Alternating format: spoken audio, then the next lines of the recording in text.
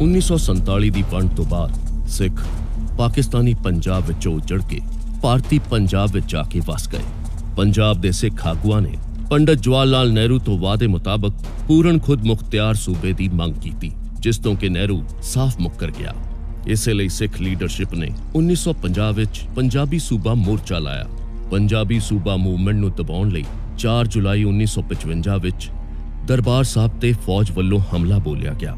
ਤੇ ਦਰਬਾਰ ਸਾਹਿਬ ਦੀ ਪਵਿੱਤਰਤਾ ਨੂੰ ਭੰਗ ਕੀਤਾ ਗਿਆ। ਸਰਕਾਰ ਨੇ ਪੰਜਾਬੀ ਸੂਬਾ, ਮਤਲਬ ਸਿੱਖ ਮੈਜੋਰਟੀ ਸਟੇਟ ਦੀ ਮੰਗ ਨੂੰ ਨਾਮਨਜ਼ੂਰ ਕਰ ਦਿੱਤਾ। ਇਥੋਂ ਤੱਕ ਕਿ ਦਿੱਲੀ ਹਕੂਮਤ ਨੇ ਵੀ ਪੰਜਾਬੀ ਸੂਬਾ ਜ਼ਿੰਦਾਬਾਦ ਕਹਿਣ ਤੇ ਬੈਨ ਲਾ ਦਿੱਤਾ। ਪਰ ਫਿਰ ਵੀ ਪੰਜਾਬ ਦੀਆਂ ਫਿਜ਼ਾਵਾਂ ਵਿੱਚ ਪੰਜਾਬੀ ਸੂਬਾ ਜ਼ਿੰਦਾਬਾਦ ਦੀ ਆਵਾਜ਼ ਗੂੰਜਦੀ ਰਹੀ।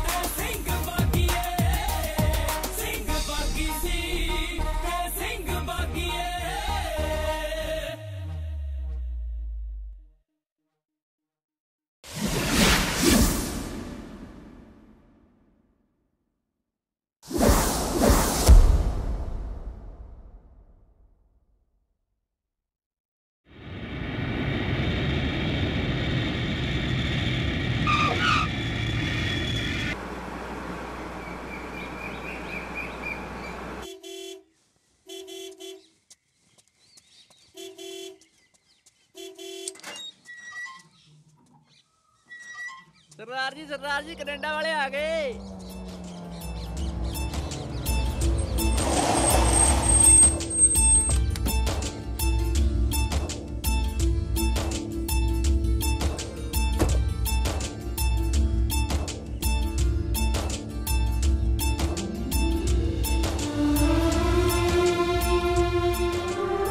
ਆ ਗਿਆ ਮੇਰਾ ਵੀਰ ਅੱਖਾਂ ਤਰਸ ਗਈਆਂ ਸਵੇਰ ਦੀਆਂ ਤੇਰਾ ਰਾਹ ਵੇਖਦਿਆਂ ਵੇਖਦਿਆਂ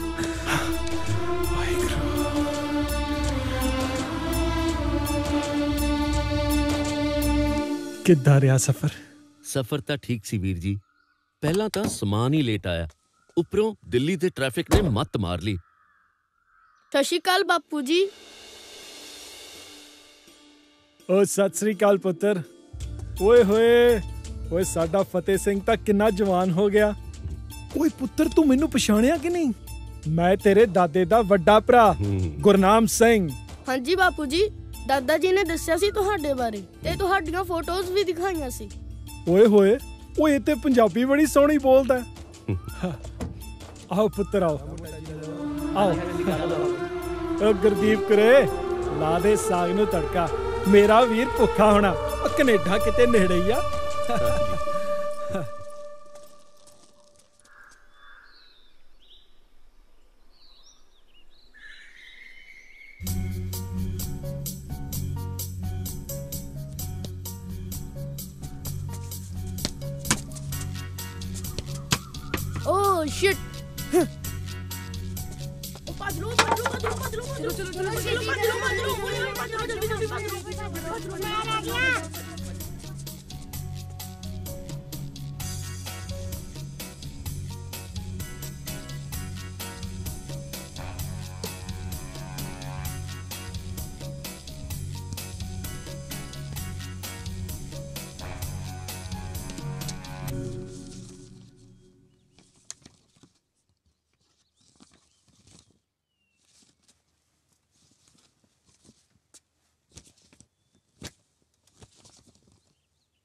ਦਾਦਾ ਜੀ ਦੀ ਫੋਟੋ।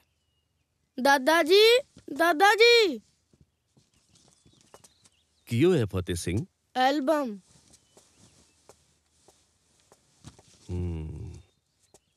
ਸੰਤਾਂ ਦੀ ਐਲਬਮ? ਸੰਤ। ਹਾਂ ਪੁੱਤਰ ਜੀ ਸੰਤ। ਸੰਤ ਸਿਪਾਹੀ ਸੰਤ ਜਰਨੈਲ ਸਿੰਘ ਜੀ ਖਾਲਸਾ ਪਿੰਡਰਾਂ ਵਾਲੇ। ਉਹਨਾਂ ਦੀਆਂ ਤਸਵੀਰਾਂ ਨੇ ਇਹ।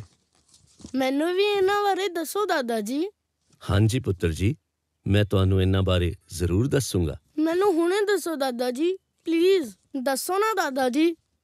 ਤੇਰੇ ਦਾਦਾ ਜੀ ਦੇ ਵਿੱਚ ਕੌਮੀ ਜਜ਼ਬਾ ਭਰਨ ਵਾਲੇ ਸੰਤ ਜੀ ਹੀ ਸਨ। ਮੈਨੂੰ ਵੀ ਸੰਤਾਂ ਦੀ ਸੰਗਤ ਕਰਨ ਦਾ ਮੌਕਾ ਮਿਲਿਆ ਸੀ।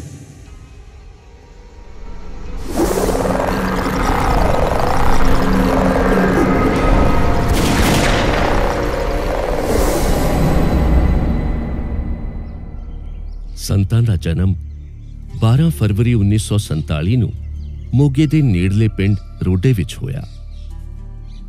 ਸੰਤ ਜੀ ਆਪਣੇ ਭਰਾਵਾਂ ਵਿੱਚੋਂ ਸਭ ਤੋਂ ਨਿੱਕੇ ਸੀ।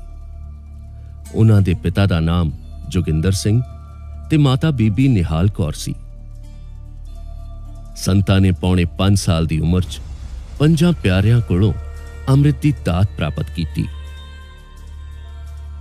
ਅਕਾਲ ਪੁਰਖ ਦੀ ਅਪਾਰ ਕਿਰਪਾ ਸਦਕਾ। ਜਰਨੈਲ ਸਿੰਘ ਬਚਪਨ ਵਿੱਚ ਪ੍ਰਾਇਮਰੀ ਸਕੂਲ ਪੜ੍ਹਦੇ ਹੋਣ ਦੇ ਨਾਲ-ਨਾਲ ਗਿਆਨੀ ਕਿਰਪਾਲ ਸਿੰਘ ਪਿੰਡਰਾਂ ਵਾਲਿਆਂ ਕੋਲ ਆ ਕੇ ਗੁਰਬਾਣੀ ਦਾ ਅਧਿਐਨ ਕਰਦੇ। ਜਿਵੇਂ-ਜਿਵੇਂ ਉਹ ਵੱਡੇ ਹੁੰਦੇ ਗਏ, ਉਹਨਾਂ ਦਾ ਸੰਤਾਂ ਅਤੇ ਜਥੇ ਨਾਲ ਪ੍ਰੇਮ ਵਧਦਾ ਗਿਆ। ਇੱਕ ਦਿਨ ਦਮਦਮੀ ਟਕਸਾਲ ਦੇ ਮੁਖੀ ਗਿਆਨੀ ਗੁਰਬਚਨ ਸਿੰਘ ਜੀ ਖਾਲਸਾ ਭਾਈ ਜੋਗਿੰਦਰ ਸਿੰਘ ਜੀ ਦੇ ਘਰ ਪਧਾਰੇ। ਵਾਹਿਗੁਰੂ ਜੀ ਕੀ ਫਤਿਹ। ਬੜੇ ਦਿਨਾਂ ਬਾਅਦ ਸੰਤਾਂ ਦੇ ਦਰਸ਼ਨ ਹੋਏ ਆ ਜੀ। ਭਾਈ ਜੋਗਿੰਦਰ ਸਿੰਘ ਜੀ ਗੁਰਸਿੱਖੀ ਦਾ ਪ੍ਰਚਾਰ ਚੱਲ ਰਿਹਾ। ਹੈ ਜੀ। ਨਾਲ ਗੁਰੂ ਘਰ ਦੀ ਸੇਵਾ। ਇਹਨਾਂ ਸੇਵਾਵਾਂ ਦੇ ਵਿੱਚ ਕਦੋਂ ਸਮਾਂ ਲੰਘ ਜੇ ਪਤਾ ਹੀ ਨਹੀਂ ਲੱਗਦਾ। ਆਓ ਜੀ ਬੈਠੋ। ਜਲ। ਪਾਣੀ ਛਕਾਓ ਬਈ। ਹਾਂਜੀ। ਵਾਹਿਗੁਰੂ ਵਾਹਿਗੁਰੂ ਵਾਹਿਗੁਰੂ। ਜਲ ਛਕੋ। ਵਾਹਿਗੁਰੂ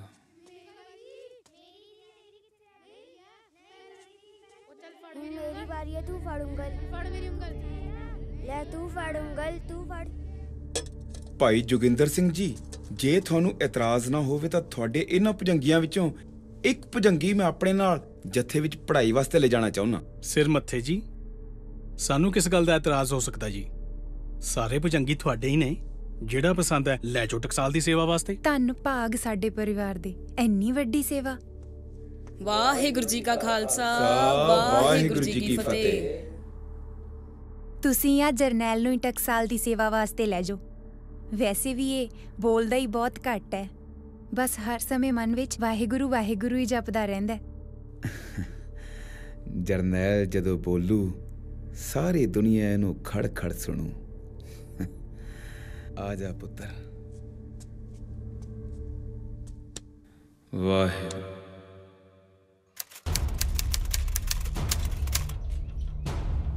ਇਸੇ ਤਰ੍ਹਾਂ ਜਰਨੈਲ ਸਿੰਘ 1962 ਤੋਂ ਹੀ ਦਮਦਮੀ ਟਕਸਾਲ ਵਿੱਚ ਪੱਕੇ ਰੂਪ ਵਿੱਚ ਚਲੇ ਗਏ ਤੇ ਉਹਨਾਂ ਨੇ ਆਪਣੀ ਪੜ੍ਹਾਈ ਟਕਸਾਲ ਵਿੱਚ ਕੀਤੀ ਤੇ ਸਿੱਖੀ ਨਾਲ ਪਿਆਰ ਬਰਕਰਾਰ ਰੱਖਦਿਆਂ ਹੋਇਆ ਵੱਡੇ ਹੋਏ। 1966 ਵਿੱਚ ਸੰਤਾਂ ਦਾ ਵਿਆਹ ਭਾਈ ਸੁੱਚਾ ਸਿੰਘ ਜੀ ਦੀ ਸੁਪੁੱਤਰੀ ਬੀਬੀ ਪ੍ਰੀਤਮ ਕੌਰ ਨਾਲ ਹੋਇਆ। ਗੁਰੂ ਪਾਤਸ਼ਾਹ ਨੇ ਇਹਨਾਂ ਨੂੰ ਦੋ ਪੁੱਤਰਾਂ ਦੀ ਦਾਤ ਬਖਸ਼ੀ, ਭਾਈ ਈਸ਼ਰ ਸਿੰਘ ਤੇ ਭਾਈ ਇੰਦਰਜੀਤ ਸਿੰਘ। ਬਾਬਾ ਜੀ ਲਗਾਤਾਰ ਸਮਾਗਮਾਂ ਦੇ ਵਿੱਚ ਗੁਰਸਿੱਖੀ ਦਾ ਪ੍ਰਚਾਰ ਕਰਨ ਕਰਕੇ ਸੰਗਤ ਤੁਹਾਡੀ ਸਿਹਤ ਦਾ ਬਹੁਤ ਫਿਕਰ ਕਰਦੀ ਹੈ।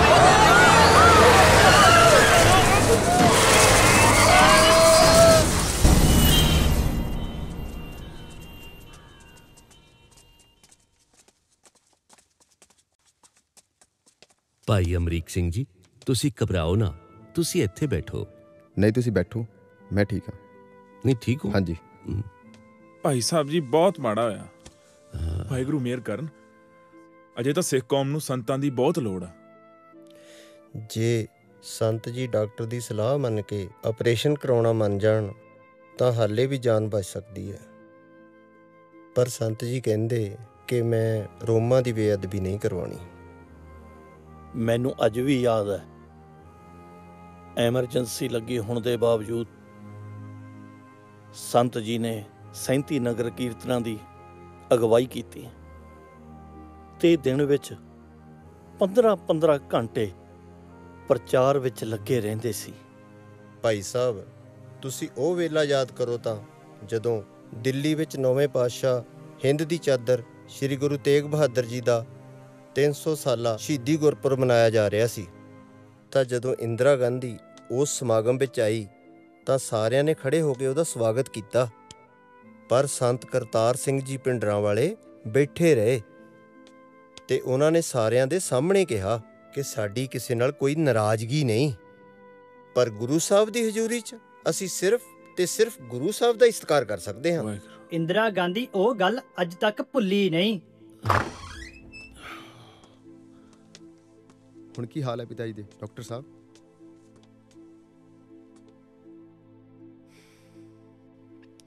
ਸੰਤਾਂ ਦੀ ਜਾਨ ਬਚਾਈ ਜਾ ਸਕਦੀ ਸੀ।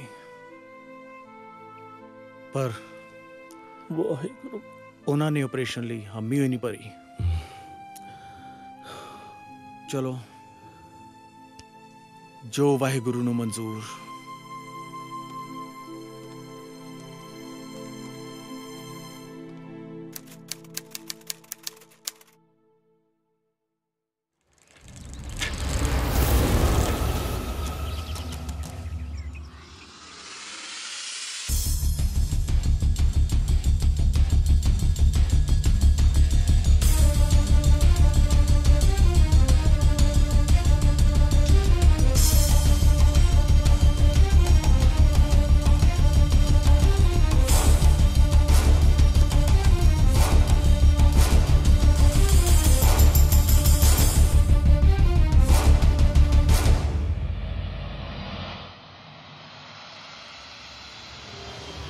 ਸਿੰਘੋ ਮੈਂ ਇੱਕ ਗੱਲ ਕਰਨੀ ਚਾਹੁੰਦਾ ਜੇ ਸਾਰਿਆਂ ਨੂੰ ਪ੍ਰਵਾਨ ਹੋਵੇ। ਹਾਂਜੀ ਬਾਬਾ ਜੀ। ਹਾਂਜੀ ਗਿਆਨੀ ਜੀ। ਮੈਂ ਸਮਝਦਾ ਕਿ ਸੰਤਾਂ ਦੇ ਨਾਲ ਨਾਲ ਕੌਮ ਨੂੰ ਜਥੇਬੰਦੀ ਨੂੰ ਇੱਕ ਜਰਨੈਲ ਦੀ ਬਹੁਤ ਜ਼ਰੂਰਤ ਹੈ। ਹਾਂਜੀ ਬਿਲਕੁਲ ਜੀ ਬਿਲਕੁਲ ਭਾਈ ਜਰਨੈਲ ਸਿੰਘ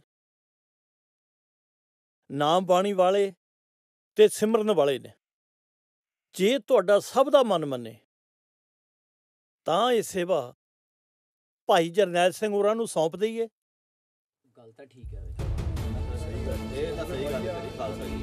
ਇਹਦੇ ਵਿੱਚ ਕਿਸੇ ਕੋਈ ਇਤਰਾਜ਼ ਨਹੀਂ। ਕੋਈ ਇਤਰਾਜ਼ ਨਹੀਂ। ਬਿਲਕੁਲ ਠੀਕ ਹੈ ਜੀ। ਬਿਲਕੁਲ ਠੀਕ ਆ। ਤੁਸੀਂ ਜਕਾਰਾ ਗਜਾਓ ਗਿਆਨੀ ਜੀ ਸਾਰਿਆਂ ਨੂੰ ਮਨਜ਼ੂਰ ਆ। ਬੋਲੇ ਸਾਨੇਹਾਲ।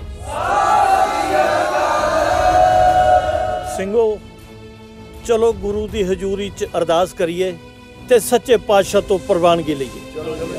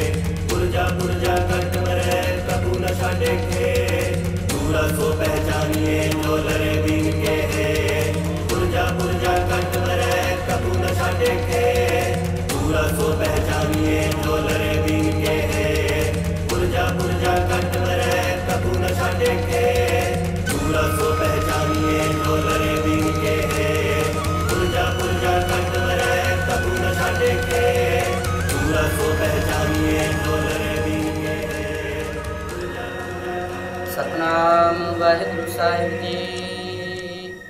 ਗੌੜੀ ਮਹਿਲਾ ਪੰਜਵਾ। ਗੁਰ ਸੇਵਾ ਤੇ ਨਾਮੇ ਲਾਗਾ। ਤਿਸ ਕੋ ਮਿਲਿਆ ਜਿਸ ਮਸਤਕ ਭਾਗਾ। ਬੋਲੇ ਸਾਨੇਹਾਲ ਸਤਿ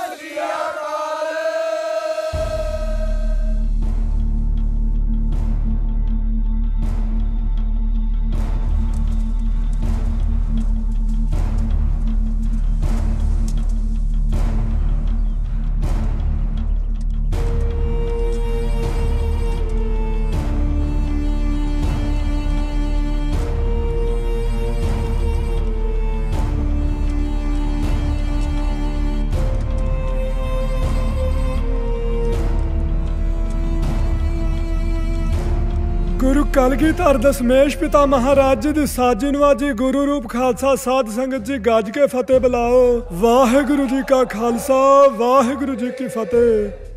ਖਾਲਸਾ ਜੀ ਗਵਰਨਮੈਂਟ ਨੇ ਇੱਕ ਗੱਲ ਕਹੀ ਹੈ ਦਾਸ ਨੂੰ ਕਿ ਸੰਤ ਜੀ, ਕਿਸੇ ਚੀਜ਼ ਦੀ ਲੋੜ ਹੈ ਤਾਂ ਸਾਡੇ ਕੋਲੋਂ ਮੰਗ ਸਕਦੇ ਹੋ। ਮੈਂ ਇਹ ਗੱਲ ਸਪਸ਼ਟ ਕਰ ਦੇਣਾ ਚਾਹੁੰਦਾ ਗਵਰਨਮੈਂਟ ਨੂੰ ਕਿ ਇਹ ਟਕਸਾਲ ਗੁਰੂ ਕਲਗੀਧਰ ਦਸਮੇਸ਼ ਪਿਤਾ ਮਹਾਰਾਜ ਜੀ ਦੀ ਚਲਾਈ ਹੋਈ ਟਕਸਾਲ ਹੈ ਤੇ ਜਿਸ ਦਾ ਪਹਿਲਾ ਮੁਖੀ ਬਾਬਾ ਦੀਪ ਸਿੰਘ ਜੋ ਮੈਥੋਂ 14ਵੇਂ ਥਾਂ ਸੀ ਤੇ ਲੋਥਾਂ ਦੇ ਢੇਰ ਲਾ ਕੇ ਤੇ ਇੱਥੇ ਪਹੁੰਚਿਆ ਸੀ, ਇਸ ਵਾਸਤੇ ਇਸ ਟਕਸਾਲ ਨੇ ਸੀਜ਼ ਦੇਣੇ ਸਿੱਖੇ ਆ ਮੰਗਿਆ ਕਿਸੇ ਤੋਂ ਕੁਝ ਨਹੀਂ ਅੱਜ ਤੱਕ। ਹਾਂ ਗਵਰਨਮੈਂਟ ਨੂੰ ਕਿਸੇ ਚੀਜ਼ ਦੀ ਲੋੜ ਹੈ ਤਾਂ ਗਵਰਨਮੈਂਟ ਸਾਡੇ ਕੋਲੋਂ ਮੰਗ ਸਕਦੀ ਹੈ। ਸੋ ਨਿਹਾਲ ਸਤਿ ਸ੍ਰੀ ਅਕਾਲ।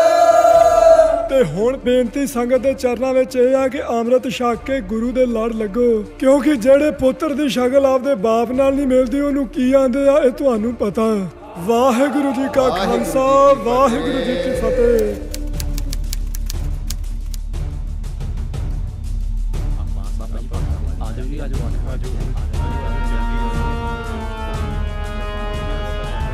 ਨਿਰੰਕਾਰੀਆਂ ਨੇ 13 ਅਪ੍ਰੈਲ 1978 ਦੇ ਵਿੱਚ ਸੱਤ ਸਿਤਾਰੇ ਚੁਣਨ ਦਾ ਫੈਸਲਾ ਕੀਤਾ। ਇਸ ਦਾ ਵਿਰੋਧ ਸਿੱਖਾਂ ਵਿੱਚ ਸਾਫ਼ ਦਿਖ ਰਿਹਾ ਸੀ।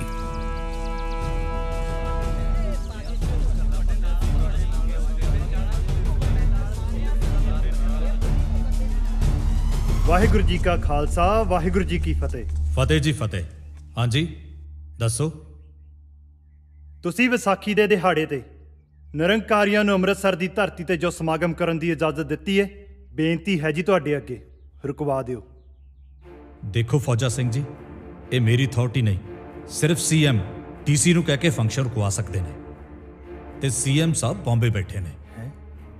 ਪਰ ਜੀਵਨ ਸਿੰਘ ਜੀ? ਵੇਖੋ ਮੈਂ ਮਜਬੂਰ ਹਾਂ।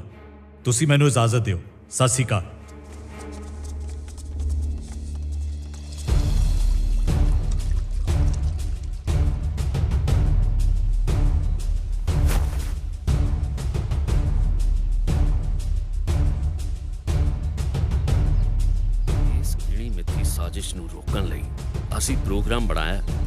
ਕਿ। ਵਾਹਿਗੁਰੂ ਜੀ ਕਾ ਖਾਲਸਾ ਵਾਹਿਗੁਰੂ ਜੀ ਕੀ ਫਤਿਹ। ਸੰਤ ਜੀ ਸਰ ਜੀਵਨ ਸਿੰਘ ਹੁਣਾਂ ਨੂੰ ਬੇਨਤੀ ਕੀਤੀ ਸੀ ਪਰ ਉਹਨਾਂ ਮਨਜ਼ੂਰ ਨਹੀਂ ਕੀਤੀ। ਸਾਨੂੰ ਲੱਗਦਾ ਕੋਈ ਹੋਰ ਹੱਲ ਕੱਢਣਾ ਪਊ ਇਹਦਾ। ਹੱਲ ਇਹੀ ਆ ਕਿ ਦਾਸ ਨੂੰ ਆਪ ਜਾਣਾ ਨਹੀਂ ਪਵੇਗਾ। ਬਾਬਾ ਜੀ ਨਹੀਂ ਬਾਬਾ ਜੀ। ਨਹੀਂ ਬਾਬਾ ਤੁਸੀਂ ਜੀ, ਜਾਣਾ ਬਾਬਾ ਜੀ। ਨਹੀਂ। ਤੁਸੀਂ ਤੁਸੀਂ ਬਾਬਾ ਤੁਹਾਡੀ ਕੌਮ ਨੂੰ ਬਹੁਤ ਲੋੜ ਹੈ। ਤੁਸੀਂ ਨਹੀਂ ਜਾਣਾ ਸੰਤ ਜੀ। ਨਹੀਂ ਤਾਂ ਆਪਾਂ ਪੰਜ ਪਿਆਰਿਆਂ ਤੋਂ ਹੁਕਮ ਦਵਾਵਾਂਗੇ। ਜੋ ਹੁਕਮ ਹੋਊਗਾ ਤੁਹਾਨੂੰ ਮੰਨਣਾ ਪੈਣਾ। ਹਾਂਜੀ ਬਿਲਕੁਲ ਜੀ। ਠੀਕ ਆ, ਸੰਗਤ ਦਾ ਹੁਕਮ ਸਿਰ ਮੱਥੇ। ਪਰ ਫੌਜਾ ਸਿੰਘ ਜੀ, ਤੁਸੀਂ ਟਕਸਾਲ ਤੇ ਕੀਰਤਨੀ ਜਥੇ ਦੇ ਕੋਲ ਸਿੰਘ ਨਾਲ ਲੈ ਕੇ ਜਾਓ। ਸ਼ਾਂਤਮਈ ਤਰੀਕੇ ਨਾਲ ਇਸ ਗੁਰੂ ਡਾਮ ਦਾ ਵਿਰੋਧ ਕਰੋ। ਵਾਹਿਗੁਰੂ ਜੀ ਕਾ ਖਾਲਸਾ, ਵਾਹਿਗੁਰੂ ਜੀ ਕੀ ਫਤਿਹ।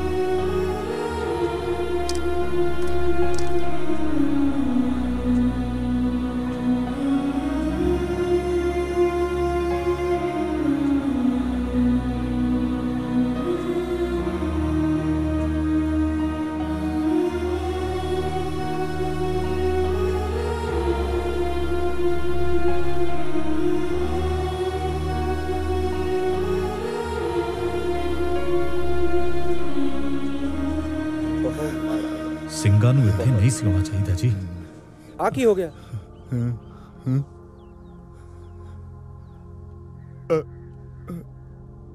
ਆਓ ਮੈਂ ਤੁਹਾਨੂੰ ਦੱਸਦਾ ਮੈਂ ਮਹਾਰਾਜ ਦਾ ਜਵਾਈ ਆ ਇੱਧਰ ਕਮਰੇ ਚ ਆਓ ਇੱਧਰ ਦੱਸਦਾ ਮੈਂ ਤੁਹਾਨੂੰ ਉਹ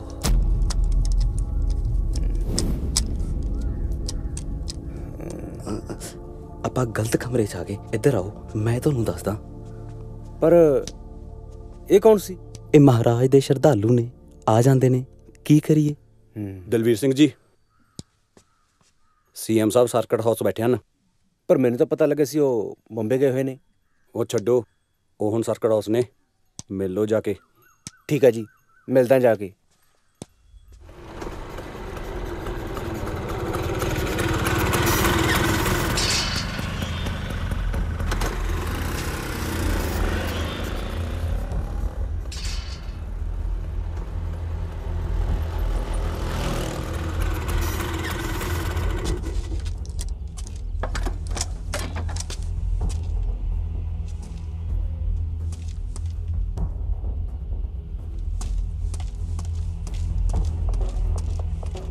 सीएम साहब अंदर ही ने? अंदर ही आ लंघ जो अच्छा।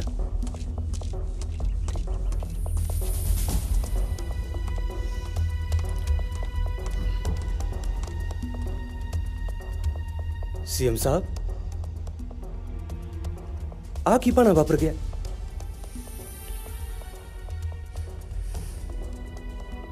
किन्ने सिंह शहीद हो गए?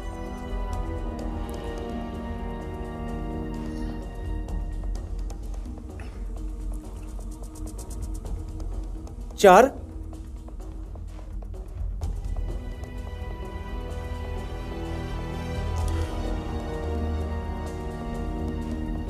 8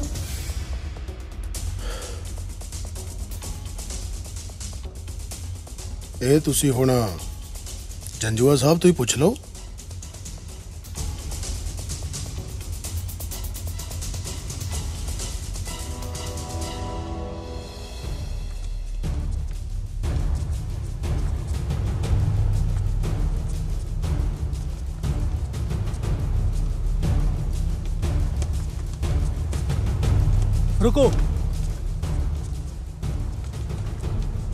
आप लोग हथियारों के साथ यहां नहीं रुक सकते चलिए जाइए यहां से ਹਥਿਆਰ ਤੇਰੇ ਕੋਲ ਵੀ ਨੇ ਤੇ ਇਹ ਹਥਿਆਰ ਸਾਡੇ ਕੋਲ ਵੀ ਨੇ ਆ ਜਾ ਕਰ ਲੈਨੇ ਆ ਦੋ ਦੋ ਹੱਥ ਆਉਣਾ ਜਾਣਾ ਕਿੱਥੇ ਆ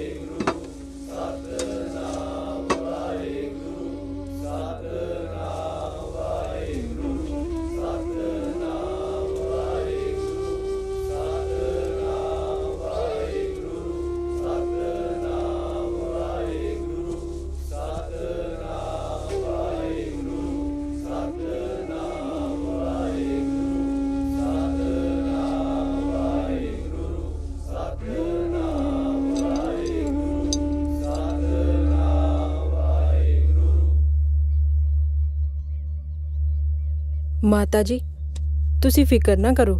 ਤੁਹਾਡਾ ਪੁੱਤਰ ਸ਼ਹੀਦ ਹੋਇਆ ਪੰਥ ਦੀ ਖਾਤਰ। ਇਹ ਲਹੂ ਵਿਅਰਥ ਨਹੀਂ ਜਾਊਗਾ।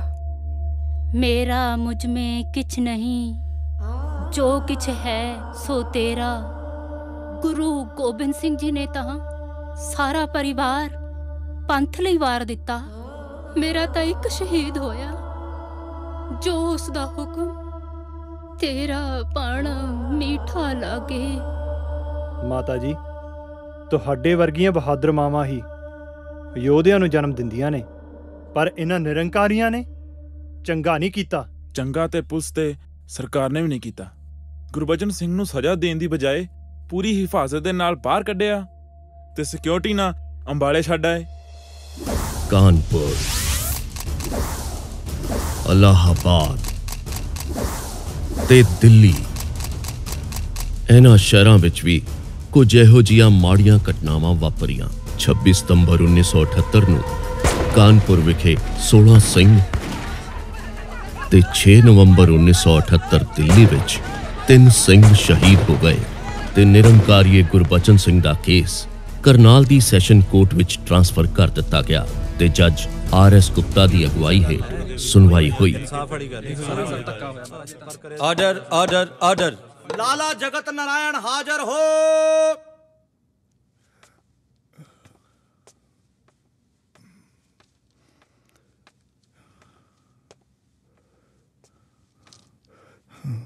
ਜੱਜ ਸਾਹਿਬ 13 ਅਪ੍ਰੈਲ 1978 ਨੂੰ ਜੋ ਕੁਝ ਹੋਇਆ, ਮੈਂ ਉਸ ਦਾ ਚਸ਼ਮਦੀਦ ਗਵਾਹ ਹਾਂ। ਇਸ ਦਾ ਜ਼ਿੰਮੇਵਾਰ ਪਿੰਡਰਾਂ ਵਾਲਾ ਅਖੰਡ ਕੀਰਤਨੀ ਜਥਾ ਤੇ ਇਹ ਸਿੱਖ ਆਪ ਨੇ। ਨਿਰੰਕਾਰੀਆਂ ਦਾ ਇਹਦੇ ਵਿੱਚ ਕੋਈ ਕਸੂਰ ਨਹੀਂ ਹੈ। Order order order. ਹਥਿਆਰ ਬੰਦ ਸਿੱਖ ਸਮਾਗਮ ਦੀ ਸ਼ਾਂਤੀ ਭੰਗ ਕਰਨ ਲਈ ਆਏ ਤੇ ਆਪਣੀ ਹਿਫਾਜ਼ਤ ਕਰਨ ਲਈ ਗੋਲੀਆਂ ਚਲਾਈਆਂ ਗਈਆਂ। ਅੱਛਾ। ਜੀ ਸਰ ਜੀਵਨ ਸਿੰਘ ਹਾਜ਼ਰ ਹੋ।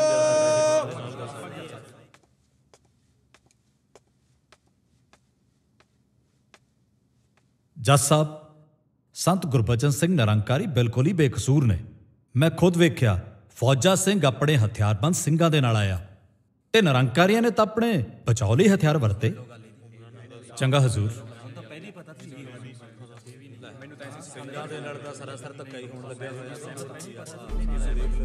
ऑर्डर ऑर्डर ऑर्डर कोई ठोस सबूत ना होने के कारण अदालत गुरबचन सिंह को बाइज्जत बरी करती है और बाकी के तिरसठ कैदियों को रिहा करने का हुक्म देती है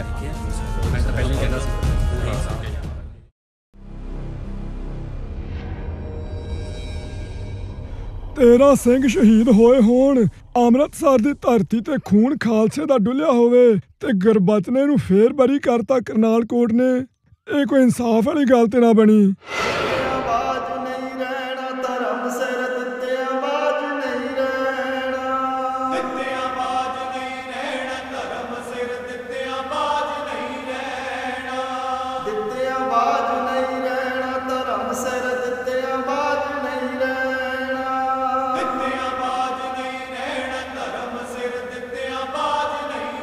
ਨਿਰੰਕਾਰੀ ਗੁਰਬਚਨ ਸਿੰਘ ਦੀ ਕੋਰਟ ਤੋਂ ਰਿਹਾਈ ਤੋਂ ਬਾਅਦ ਸਿੱਖ ਭਾਈਚਾਰੇ ਦੇ ਅੰਦਰ ਗੁੱਸੇ ਤੇ ਨਫ਼ਰਤ ਦੀ ਲਹਿਰ ਫੈਲ ਗਈ। ਇਸੇ ਗੁੱਸੇ ਵਿੱਚੋਂ ਜਿਹੜੇ ਗੁਰੂ ਦੇ ਸਿੰਘਾਂ ਦਾ ਖੂਨ ਉਬਾਲੇ ਖਾਣ ਲੱਗਿਆ ਉਹ ਸੀ ਭਾਈ ਰਣਜੀਤ ਸਿੰਘ ਭਾਈ ਦਲਵੀਰ ਸਿੰਘ ਤੇ ਭਾਈ ਕਾਬਲ ਸਿੰਘ। ਆ ਦੇਖੀ ਇੱਥੇ ਆ ਮੜਾ ਤੇਲ ਤੂਲ ਤਾਂ ਨਹੀਂ ਮੁੱਕ ਗਿਆ ਇਹਦੇ ਜਾ? ਨਹੀਂ ਨਹੀਂ ਸਵੇਰੀ ਪਵਾਇਆ। ਹਾਂ ਆ ਰੇਡੀਏਟਰ 'ਚ ਪਾਣੀ ਚੈੱਕ ਕਰ ਇਹਦਾ। ਠੀਕ ਆ ਸਾਰਾ।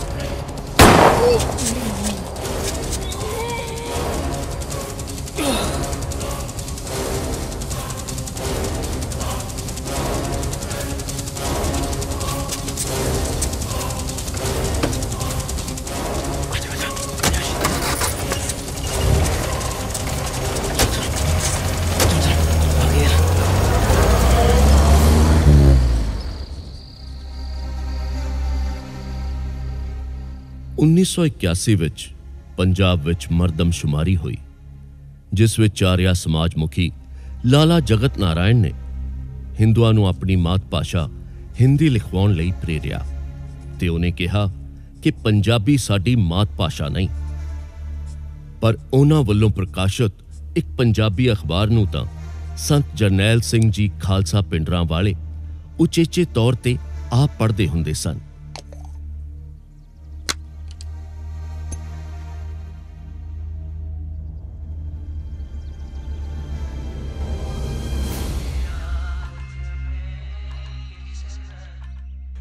ਅੱਜ ਦਾ ਅਖਬਾਰ ਪੜਿਆ ਕਿਸੇ ਨੇ? ਕੀ ਗੱਲ ਹੋ ਗਈ ਸੰਤ ਜੀ? ਕੀ ਲਿਖਿਆ? ਆ ਤੂੰ ਹੀ ਪੜ ਕੇ ਦੱਸ ਕੀ ਲਿਖਿਆ?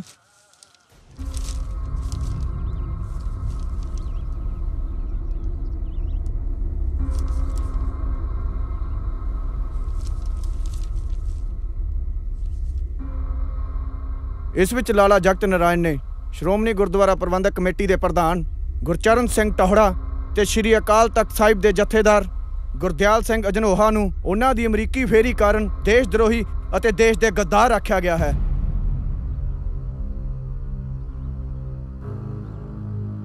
ਫਿਰ ਕੀ ਹੁਕਮ ਹੈ ਸੰਤ ਜੀ? ਪੱਗ ਲੈ ਦੇ ਪਿਓ ਦੀ ਤੂੰ ਹੁਕਮ ਪੁੱਛਦਾ।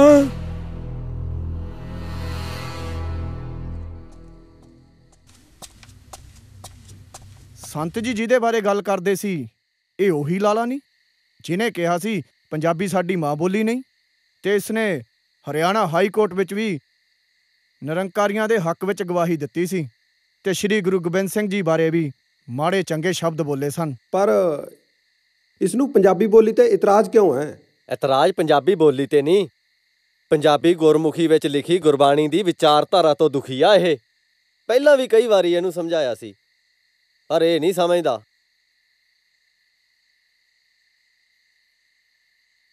ਫਿਰ ਕੀ ਹੁਕਮ ਹੈ ਖਾਲਸਾ ਜੀ?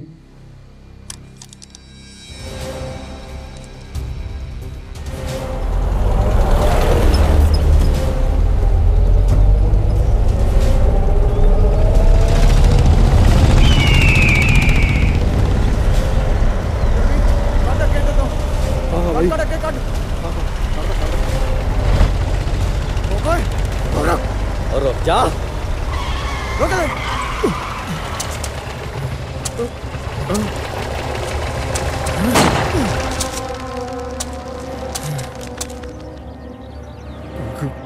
ਕੌਣ ਰੋਡੇ ਨਛੱਤਰ ਸਿੰਘ ਰੋਡੇ ਕਿਉਂ ਤੁਸੀਂ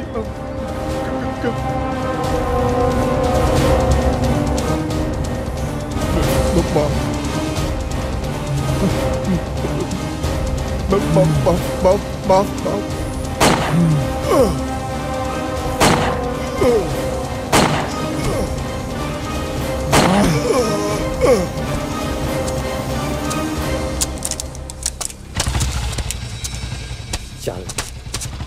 ਲਾਲਾ ਜਗਤ ਨਾਰਾਇਣ ਦੀ ਮੌਤ ਤੋਂ ਬਾਅਦ ਨਛੱਤਰ ਸਿੰਘ ਰੋਡੇ ਨੂੰ ਪੁਲਿਸ ਨੇ ਗ੍ਰਿਫਤਾਰ ਕਰ ਲਿਆ ਤੇ ਉਹਨਾਂ ਨੂੰ ਉਮਰ ਕੈਦ ਹੋ ਗਈ ਤੇ ਦੂਜੇ ਪਾਸੇ ਪੁਲਿਸ ਨੇ ਸੰਤਾਂ ਨੂੰ ਮਾਰਨ ਦੀ ਸਾਜ਼ਿਸ਼ ਰਚੀ।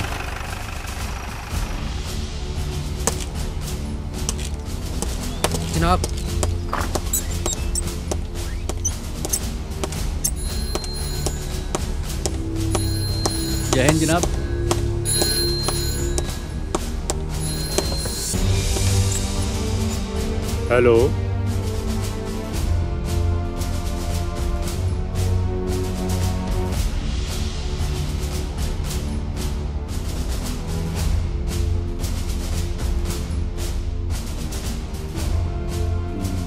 ਓਕੇ।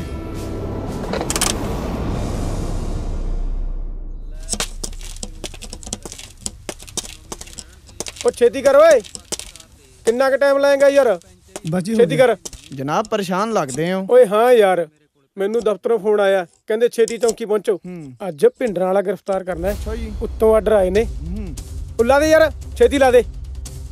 ਉਹ ਕਰਦੇ ਸਾਨੂੰ ਕਾਲੀ ਆ। ਛੇਤੀ ਲਾ। ਉਹ ਚੱਲ ਹਲਦਾਰਾ ਬੈਠ ਓਏ ਨਿਕਲ ਛੇਤੀ। ਚੱਲ ਬੈਠ। ਖੜ ਜਾ। ਬੜਾ ਕਮਾਲ ਕਰਦੇ ਹੋ ਜੀ। ਓ ਯਾਰ ਠੀਕ ਨਹੀਂ ਕੀਤਾ ਕਿ ਨਹੀਂ ਇਹ? ਖੜ ਜਾ ਯਾਰ। ਉਹ ਕਹ ਜਨਾਬ?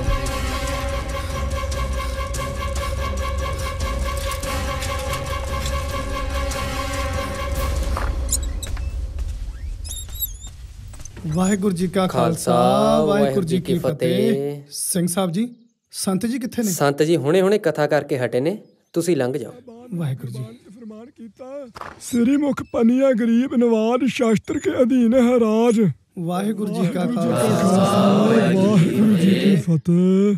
ਸੰਤ ਜੀ ਸਾਨੂੰ ਹੁਣੇ-ਹੁਣੇ ਪਤਾ ਲੱਗਿਆ ਕਿ ਪੁਲਿਸ ਤੁਹਾਨੂੰ ਗ੍ਰਿਫਤਾਰ ਕਰਨਾ ਚਾਹੁੰਦੀ ਹੈ ਤੇ ਘੇਰਾਬੰਦੀ ਵੀ ਹੋ ਰਹੀ ਹੈ। ਤੇਰਾ ਧੰਨਵਾਦ ਬਈ ਸਿੰਘਾ। ਵਾਹਿਗੁਰੂ ਭਲੀ ਕਰਨਗੇ। ਇਹ ਪੰਛੀ ਕੱਲਾ ਏ, ਇਹਦੇ ਮਗਰ ਸ਼ਿਕਾਰੀ ਬਹੁਤੇ ਇਹ ਪੰਛੀ ਕੱਲਾ ਏ। ਇਹਦੇ ਮਗਰ ਸ਼ਿਕਾਰੀ ਬਹੁਤੇ ਇਹ ਪੰਛੀ ਕੱਲਾ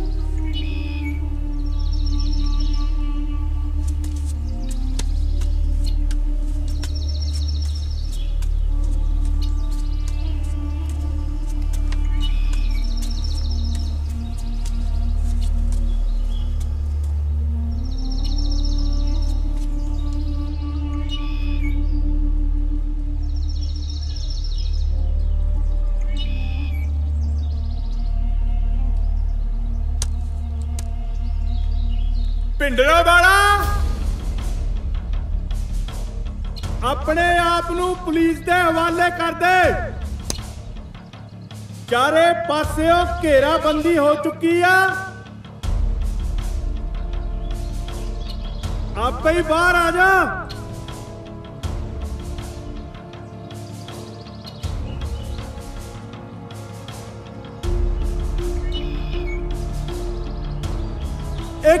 ਫੇਰ ਕਿਹਾ ਜਾਂਦਾ, ਆਪਣੇ ਆਪ ਨੂੰ ਪੁਲਿਸ ਦੇ ਹਵਾਲੇ ਕਰਦੇ। ਘੇਰਾਬੰਦੀ ਹੋ ਚੁੱਕੀ ਹੈ, ਨਿਕਲਣ ਨੂੰ ਕੋਈ ਰਸਤਾ ਨਹੀਂ।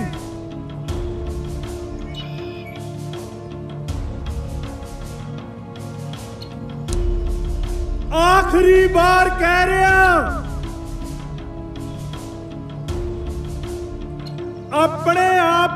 ਪੁਲਿਸ ਦੇ ਹਵਾਲੇ ਕਰ ਦੇ। ਨਹੀਂ ਤਾਂ ਕਾਰਵਾਈ ਕਰ ਦੇਾਂਗੇ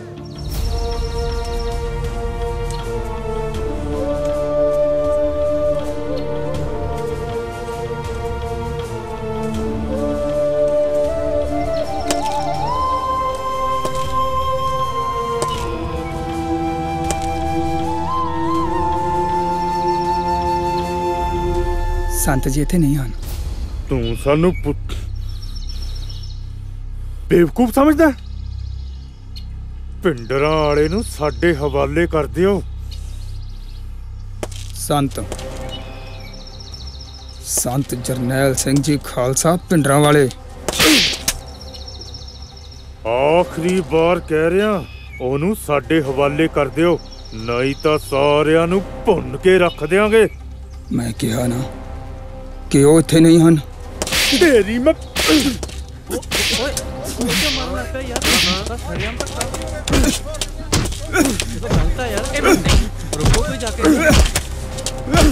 ਰੁਕੋ ਹੋ ਸਕਦਾ ਹੈ ਸੱਚ ਕਹਿੰਦਾ ਹੋਵੇ ਜਾਓ ਜਾ ਕੇ ਤਲਾਸ਼ੀ ਲਵੋ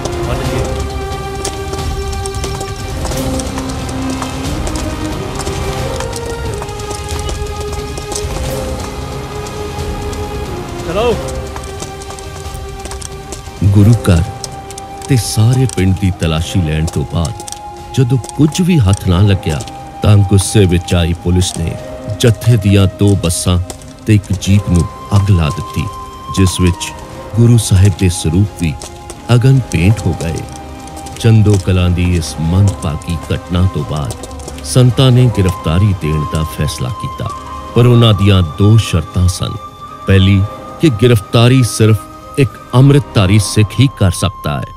ਤੇ ਦੂਜੀ, ਪਹਿਲਾਂ ਗ੍ਰਿਫਤਾਰ ਕੀਤੇ ਬੰਦੇ ਛੱਡੇ ਜਾਣ। ਪੁਲਿਸ ਨੇ ਗ੍ਰਿਫਤਾਰ ਕੀਤੇ ਬੰਦੇ ਛੱਡ ਦਿੱਤੇ। ਤੇ 20 ਸਤੰਬਰ 1981 ਨੂੰ ਸੰਤਾਂ ਨੂੰ ਗ੍ਰਿਫਤਾਰ ਕਰਨ ਲਈ ਐਸਐਸਪੀ ਜਰਨੈਲ ਸਿੰਘ ਕਾਲੇਕਾ ਆਏ।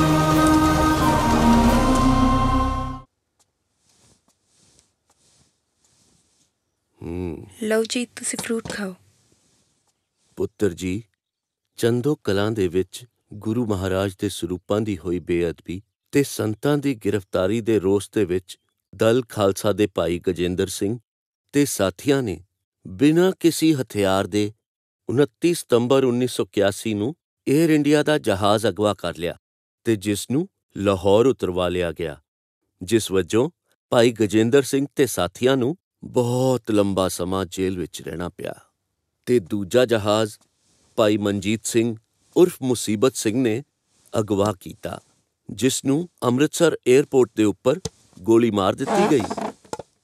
ਵੀਰ ਮੈਂ ਤਾਂ ਇਹ ਵੀ ਸੁਣਿਆ ਸੀ ਕਿ ਜਦੋਂ ਇੰਦਰਾ ਗਾਂਧੀ ਨੂੰ ਗ੍ਰਿਫਤਾਰ ਕੀਤਾ ਗਿਆ ਸੀ ਤਾਂ ਉਦੋਂ ਭੋਲੇਨਾਥ ਪਾਂਡੇ ਤੇ ਦਵਿੰਦਰ ਪਾਂਡੇ ਨੇ ਇਸੇ ਰੋਸ ਵਜੋਂ ਹਵਾਈ ਜਹਾਜ਼ ਹਾਈਜੈਕ ਕੀਤਾ ਸੀ। ਫਿਰ 1980 ਦੇ ਵਿੱਚ ਇੰਦਰਾ ਗਾਂਧੀ ਨੇ ਉਹਨਾਂ ਨੂੰ ਐਮਐਲਏ ਦੀਆਂ ਸੀਟਾਂ ਦੇ ਕੇ ਨਵਾਜਿਆ। ਦੈਟਸ ਨਾਟ ਫੇਅਰ ਦਾਦਾ ਜੀ। ਪੁੱਤਰ ਜੀ ਇਹੀ ਤਾਂ ਮਨਭਾਗੀ ਗੱਲ ਹੈ ਮੰਤਰੀਆਂ ਵਜ਼ੀਰਾਂ ਲਈ ਤਾਂ ਕਾਨੂੰਨ ਹੋਰ ਹੈ ਤੇ ਜਨਤਾ ਲਈ ਕਾਨੂੰਨ ਹੋਰ ਹੈ ਗੁਰਨਾਮ ਸਿੰਘ ਜੀ, ਤੁਹਾਨੂੰ ਹਲੇ ਵੀ ਯਾਦ ਹੋਊਗਾ, ਗ੍ਰਹਿ ਮੰਤਰੀ ਨੇ ਇੱਕ ਬਿਆਨ ਦਿੱਤਾ ਸੀ। 25 ਹਿੰਦੂਆਂ ਨੂੰ ਇੱਕ ਸਿੱਖ ਆਉਂਦਾ ਹੈ ਉਸ ਦੇ ਉੱਤੇ ਤਾਂ ਕੋਈ ਕਾਰਵਾਈ ਨਹੀਂ ਸੀ ਕੀਤੀ। ਤੇ ਜਦੋਂ ਸੰਤਾਂ ਨੇ ਅੱਗੇੋਂ ਜਵਾਬੀ ਬਿਆਨ ਦਿੱਤਾ ਸੀ ਕਿ ਇੱਕ ਸਿੱਖ ਨੂੰ 20 ਹਿੰਦੂ ਆਉਂਦੇ ਐ ਤਾਂ ਕਹਿੰਦੇ ਸੀ ਕਿ ਉਹਨਾਂ ਉੱਪਰ ਕਾਰਵਾਈ ਕੀਤੀ ਜਾਵੇ।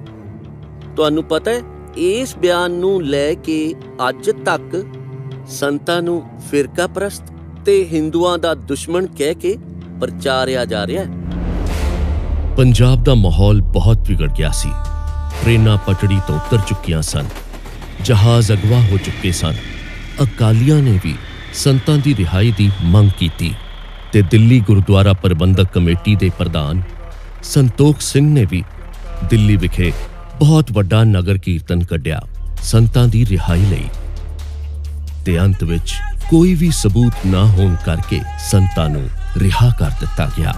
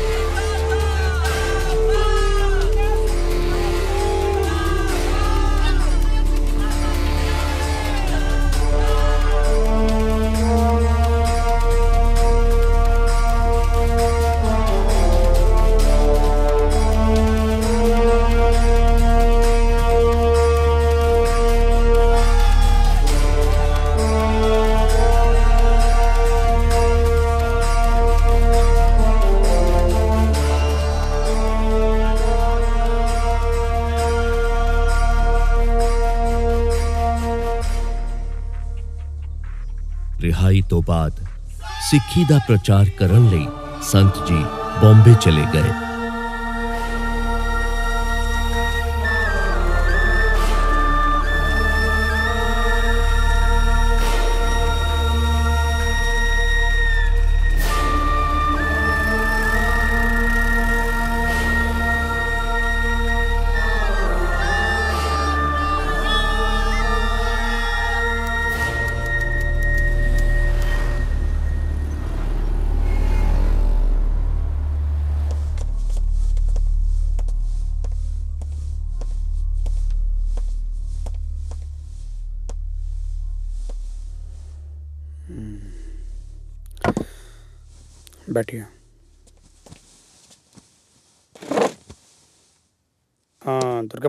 जी सर। बुखार मर्डर केस वाली फ़ाइल लेके आओ जल्दी। Okay sir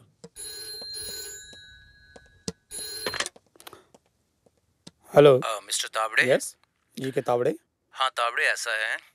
कमिश्नर साहब गुड मॉर्निंग सर हाँ तावड़े पंजाब सरकार से इन्फॉर्मेशन आई है।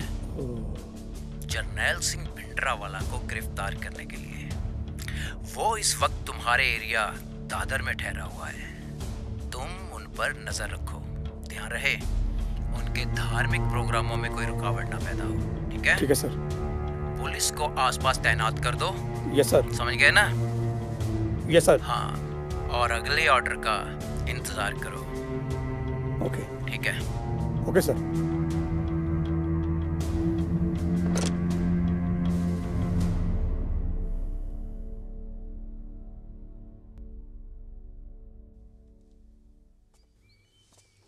ਵਾਹਿਗੁਰੂ ਆ ਚੱਕੋ ਜੀ। ਵਾਹਿਗੁਰੂ ਜੀ ਕਾ ਖਾਲਸਾ ਵਾਹਿਗੁਰੂ ਜੀ ਕੀ ਹਾਂਜੀ ਫਤਿਹ। ਹਾਂਜੀ ਵਾਹਿਗੁਰੂ ਜੀ ਕਾ ਖਾਲਸਾ ਵਾਹਿਗੁਰੂ ਜੀ ਕੀ ਫਤਿਹ। ਭਾਈ ਸਾਹਿਬ ਹੁਣੇ ਹੁਣੇ ਖਬਰ ਆਈ ਆ ਕਿ ਪੰਜਾਬ ਸਰਕਾਰ ਸੰਤਾਂ ਨੂੰ ਗ੍ਰਿਫਤਾਰ ਕਰਨਾ ਚਾਹੁੰਦੀ ਆ। ਉਹਨਾਂ ਦੀ ਗ੍ਰਿਫਤਾਰੀ ਦੇ ਵਾਰੰਟ ਜਾਰੀ ਕਰ ਦਿੱਤੇ ਗਏ ਆ। ਤੁਸੀਂ ਇਹ ਖਬਰ ਉਹਨਾਂ ਤੱਕ ਜਲਦੀ ਤੋਂ ਜਲਦੀ ਪਹੁੰਚਾਓ। ਅੱਛਾ ਜੀ। ਵਾਹਿਗੁਰੂ ਭਲੀ ਕਰੂ ਜੀ।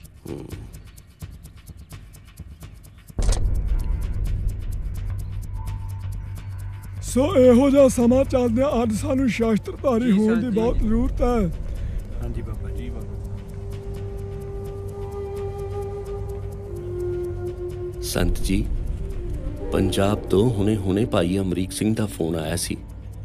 ਪੰਜਾਬ ਸਰਕਾਰ ਨੇ ਤੁਹਾਡੀ ਗ੍ਰਿਫਤਾਰੀ ਦੇ ਵਾਰੰਟ ਜਾਰੀ ਕੀਤੇ ਨੇ।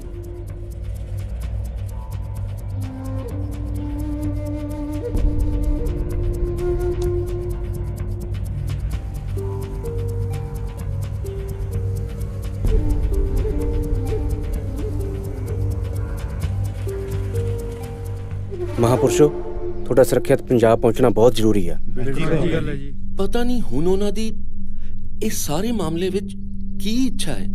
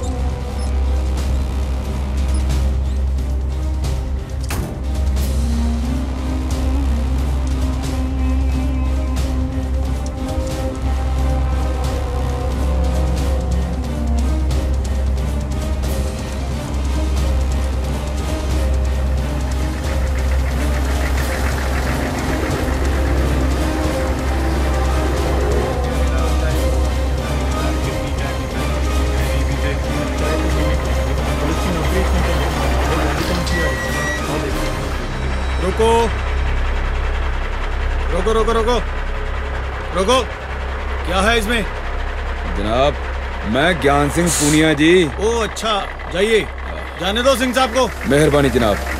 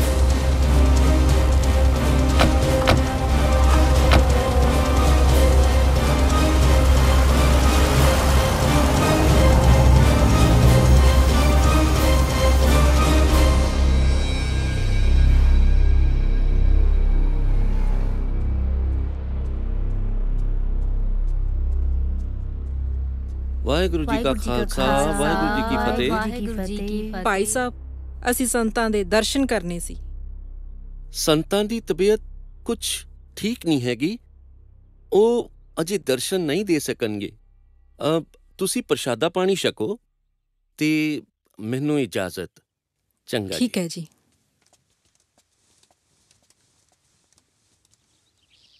डॉक्टर साहब आगे पूछो डॉक्टर साहब कहाँ जा रहे हो संजय की तबीयत ठीक नहीं है उनका ट्रीटमेंट चल रहा है ओ ठीक है ओ ट्रीटमेंट चल रहा है तबीयत खराब हो गई भाई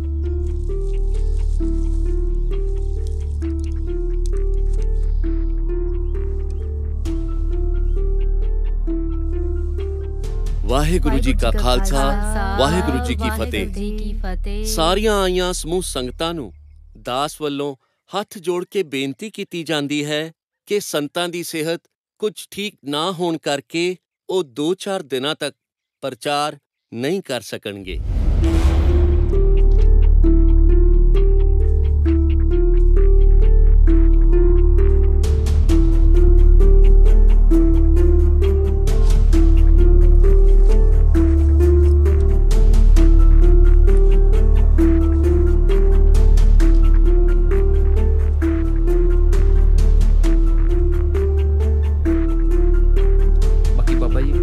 पता नहीं क्यों नहीं जाती इतना बाबा जी संत जी मैं तो पहुँच गए हैं।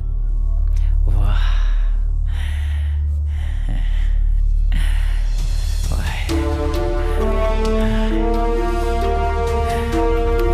वाह वाह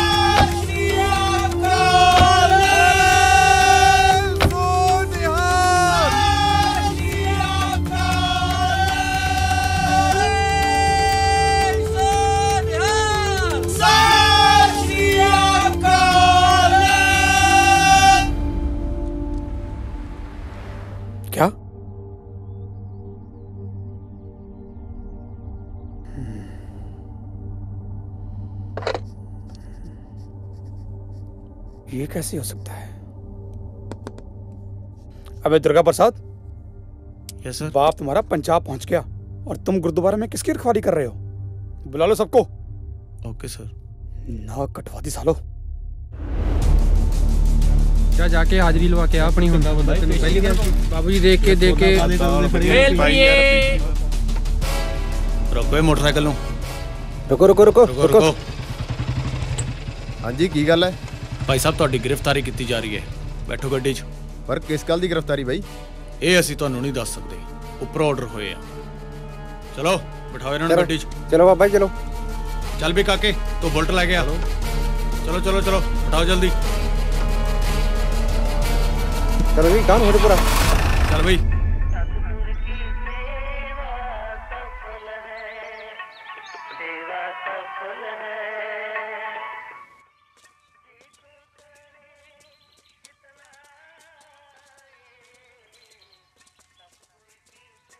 ਵਾਹਿਗੁਰੂ ਵਾਹਿਗੁਰੂ ਜੀ ਕਾ ਖਾਲਸਾ ਵਾਹਿਗੁਰੂ ਜੀ ਕੀ ਫਤਿਹ।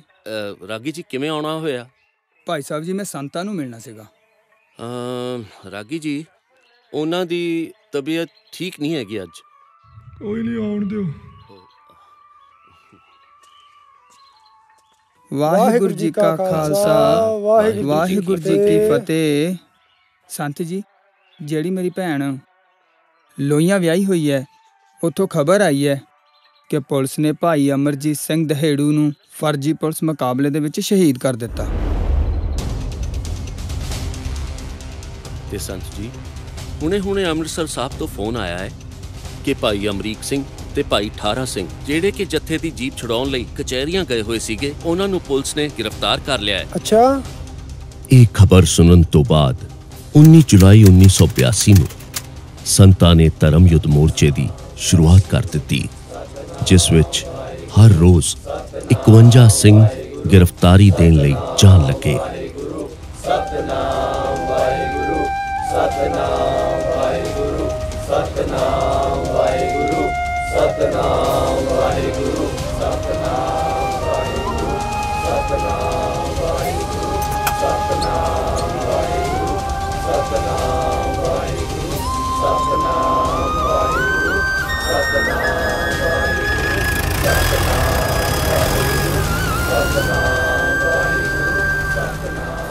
25 ਜੁਲਾਈ 1982 ਨੂੰ ਗੁਰੂ ਘਰ ਮੰਜੀ ਸਾਹਿਬ ਵਿਖੇ ਇੱਕ ਪੰਥਕ ਇਕੱਠ ਬੁਲਾਇਆ ਗਿਆ, ਜਿਸ ਇਕੱਠ ਨੇ ਧਰਮ ਯੁੱਧ ਮੋਰਚੇ ਦੀ ਆਉਣ ਵਾਲੇ ਦਿਨਾਂ ਦੀ ਰੂਪ ਰੇਖਾ ਤਿਆਰ ਕਰਨੀ ਸੀ।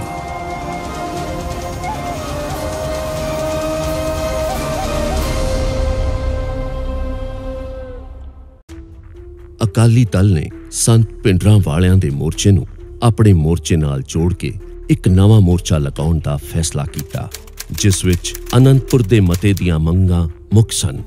ਅਨੰਦਪੁਰ ਦਾ ਮਤਾ, ਜੋ ਕਿ 1973 ਦੇ ਵਿੱਚ ਲਿਖਿਆ ਗਿਆ ਸੀ, ਜਿਸ ਦੇ ਤਹਿਤ ਕਪੂਰੀ ਦਾ ਮੋਰਚਾ ਬਦਲ ਕੇ ਅੰਮ੍ਰਿਤਸਰ ਲਿਆਂਦਾ ਗਿਆ ਤੇ ਨਹਿਰ ਰੋਕੋ ਮੋਰਚੇ ਦਾ ਨਾਮ ਬਦਲ ਕੇ ਧਰਮ ਯੁੱਧ ਮੋਰਚਾ ਕਰ ਦਿੱਤਾ ਗਿਆ। ਇਹ ਮੋਰਚਾ 4 ਅਗਸਤ 1982 ਨੂੰ ਸ਼ੁਰੂ ਹੋ ਗਿਆ। ਸੰਤਾਂ ਨੇ ਅਕਾਲੀ ਲੀਡਰਸ਼ਿਪ ਵੱਲੋਂ ਲਏ ਗਏ ਫੈਸਲੇ ਦਾ ਸਵਾਗਤ ਕੀਤਾ ਤੇ ਇੱਕ ਨਿਸ਼ਾਨ ਸਾਹਿਬ ਥੱਲੇ ਇਕੱਠੇ ਚੱਲਣ ਦਾ ਫੈਸਲਾ ਕੀਤਾ। ਧਰਮ ਯੁੱਧ ਮੋਰਚੇ ਦੇ ਤਹਿਤ ਗ੍ਰਿਫਤਾਰੀਆਂ ਦੇਣ ਦਾ ਇਹ ਸਿਲਸਿਲਾ 19 ਜੁਲਾਈ ਤੋਂ 4 ਅਗਸਤ 1982 ਤੱਕ ਨਿਰਵਿਘਨ ਜਾਰੀ ਰਿਹਾ। ਧਰਮ ਯੁੱਧ ਮੋਰਚਾ ਪੂਰੇ ਜੋਬਨ ਤੇ ਸੀ ਤੇ ਇੱਕ ਦੁਖਾਂਤ ਵਾਪਰਿਆ। ਗ੍ਰਿਫਤਾਰ ਕੀਤੇ ਹੋਏ ਸਿੰਘਾਂ ਦੀ ਬੱਸ ਤਰਨਤਾਰਨ ਵਿਖੇ ਰੇਲਵੇ ਫਾਟਕ ਤੇ ਰੇਲ ਦੇ ਨਾਲ ਜਾ ਟਕਰਾਈ, ਜਿਸ ਨਾਲ 36 ਸਿੰਘ ਸ਼ਹੀਦ ਹੋਏ ਤੇ ਵੱਡੀ ਗਿਣਤੀ ਵਿੱਚ ਜ਼ਖਮੀ ਵੀ ਹੋ ਗਏ।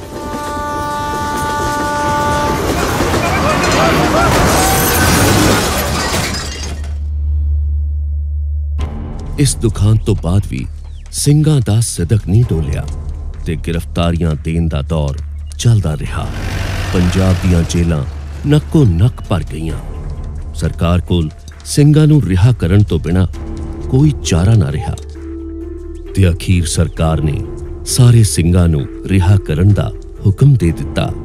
ਇਹ ਧਰਮ ਯੁੱਧ ਮੋਰਚੇ ਦੀ ਸਭ ਤੋਂ ਪਹਿਲੀ ਤੇ ਵੱਡੀ ਜਿੱਤ ਸੀ। ਵੀਰ ਜੀ ਕਾਲੇ ਦੀ ਚਾਹ ਜਿਹੜਾ ਪੀਵੇ ਉਹੀ ਗੁਣ ਗਾਵੇ ਹੈ। ਕੱਲ ਨਿਕਲ ਗਿਆ ਆ ਪੀਓ ਜਰਾ ਕਰਾਰੀ ਜੀ। ਅੱਖਾਂ ਖੋਲ ਦੂ। ਇਹ ਆ ਲੋ ਹੈ? ਆ ਚੱਕੋ ਜੀ ਗਰਮ ਗਰਮ ਚਾਹ। ਤੇ ਪੀ ਕੇ ਦੱਸਿਓ ਵੀ ਜਰਾ ਕਿੱਦਾਂ ਦੀ ਲੱਗੀ। ਜ਼ਿਆਦਾ ਗਰਮ। ਦੋ ਗਲਾਸ ਕਰਿਆ ਭਾਈ ਸਿੰਘ ਜਲ ਜੀਰਾ ਪੀਂਦੇ ਆ। ਯਾਰ ਕਿੱਦਾਂ ਦੇ ਬੰਦੇ ਆ ਇਹ ਹਨਾ? ਦੇਖ ਪਹਿਰਾਵਾ ਦੇਖ ਯਾਰ ਇਹਨਾਂ ਦਾ ਕਿਦਾਂ ਹਨਾ? ਦੇਖ ਖਿੱਚਦੇ ਨੇ। ਖਿੱਚ ਗਏ ਬਾਈ ਖਿੱਚ ਗਏ ਉਹਦੇ ਐਵੇਂ ਹੀ ਬਸ। ਸੋਤੀ ਸਿੰਘ ਸਾਹਿਬ ਇਹਨਾਂ ਨੂੰ? ਛੱਡ ਆ ਚਲੀਏ। ਉਹ ਲੰਘ ਗਿਆ ਉਹ ਦੇਖ ਹੋਰ ਕੀ ਕਰ ਲੈਣਗੇ ਇਹ? ਭਾਈ ਸਾਹਿਬ ਇਹ ਕਿੰਨੇ ਦੀ ਆ ਤਰੰਗਲੀ? 12 ਰੁਪਏ ਦੀ ਆ ਜੀ। ਦੁਕਾਨਦਾਰ ਕਹਿੰਦਾ ਸੀ ਗਰੰਟੀ ਆ ਟੁੱਟਦੀ ਨਹੀਂ। ਅੱਛਾ ਦੇਖ ਲੈਨੇ ਆ Ha ha ha ha ha ha ha ha oh.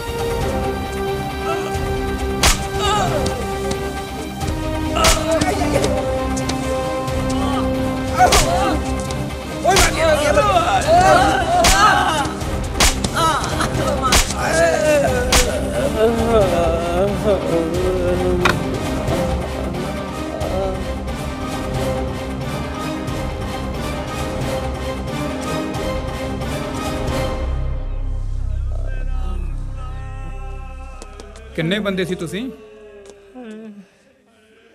ਉਹ ਜੀ 15 ਬੰਦੇ ਸੀ। ਹਮ, 15 ਹਾਂਜੀ। ਤੇ ਉਹ ਕਿੰਨੇ ਸੀ? ਉਹ ਤਾਂ ਇਕੱਲਾ ਹੀ ਸੀ ਜੀ। ਕੱਲਾ ਤੁਸੀਂ 15 ਤੇ ਉਹ ਕੱਲਾ ਹਾਂਜੀ। ਉਹ ਕੱਲਾ ਤੇ ਤੁਸੀਂ 15 ਹੂੰ ਫੜ ਕੇ ਬੰਦਾ ਪੇਸ਼ ਕਰੋ ਬਈ। ਜੀ ਜਨਾਬ।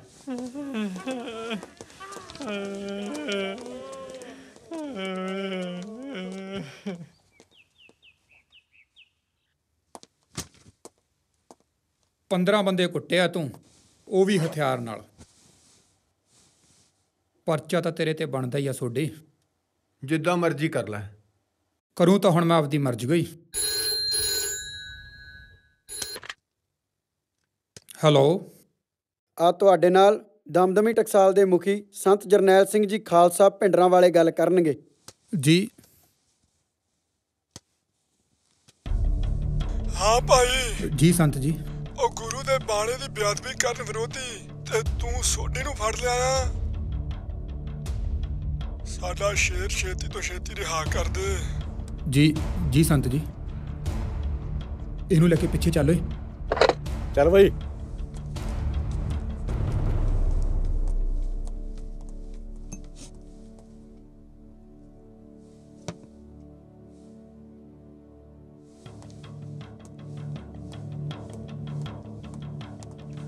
ਸੋਡੀ ਤੂੰ ਭੱਜ ਜਾ।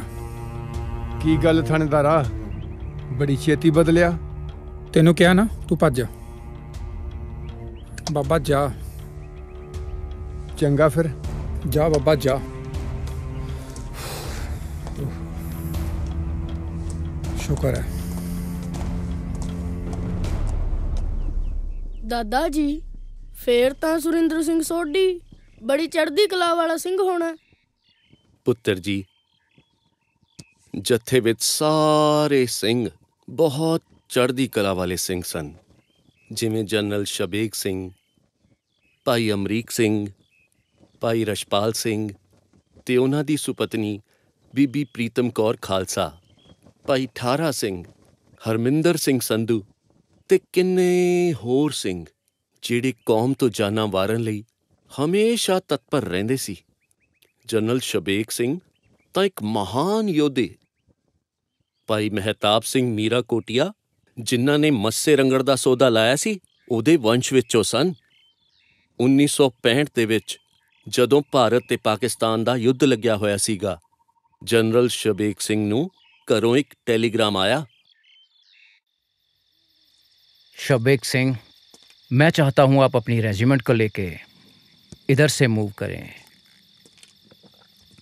सर अगर हम चौकी यहाँ बनाते हैं तो यहाँ से सारा हम लोग कवर कर सकते हैं। वेरी गुड इस तरह आप दुश्मन की इन्फेंट्री को काफ़ी नुकसान पहुँचा सकते हो। बिल्कुल ठीक सर। सर आपका Telegram.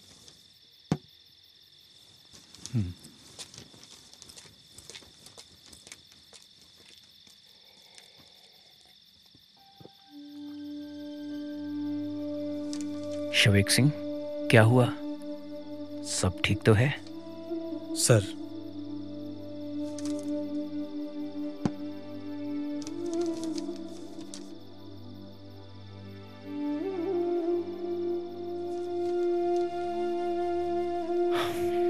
You must take leave you should attend your father's funeral sir आज देश को मेरी ज़रूरत है।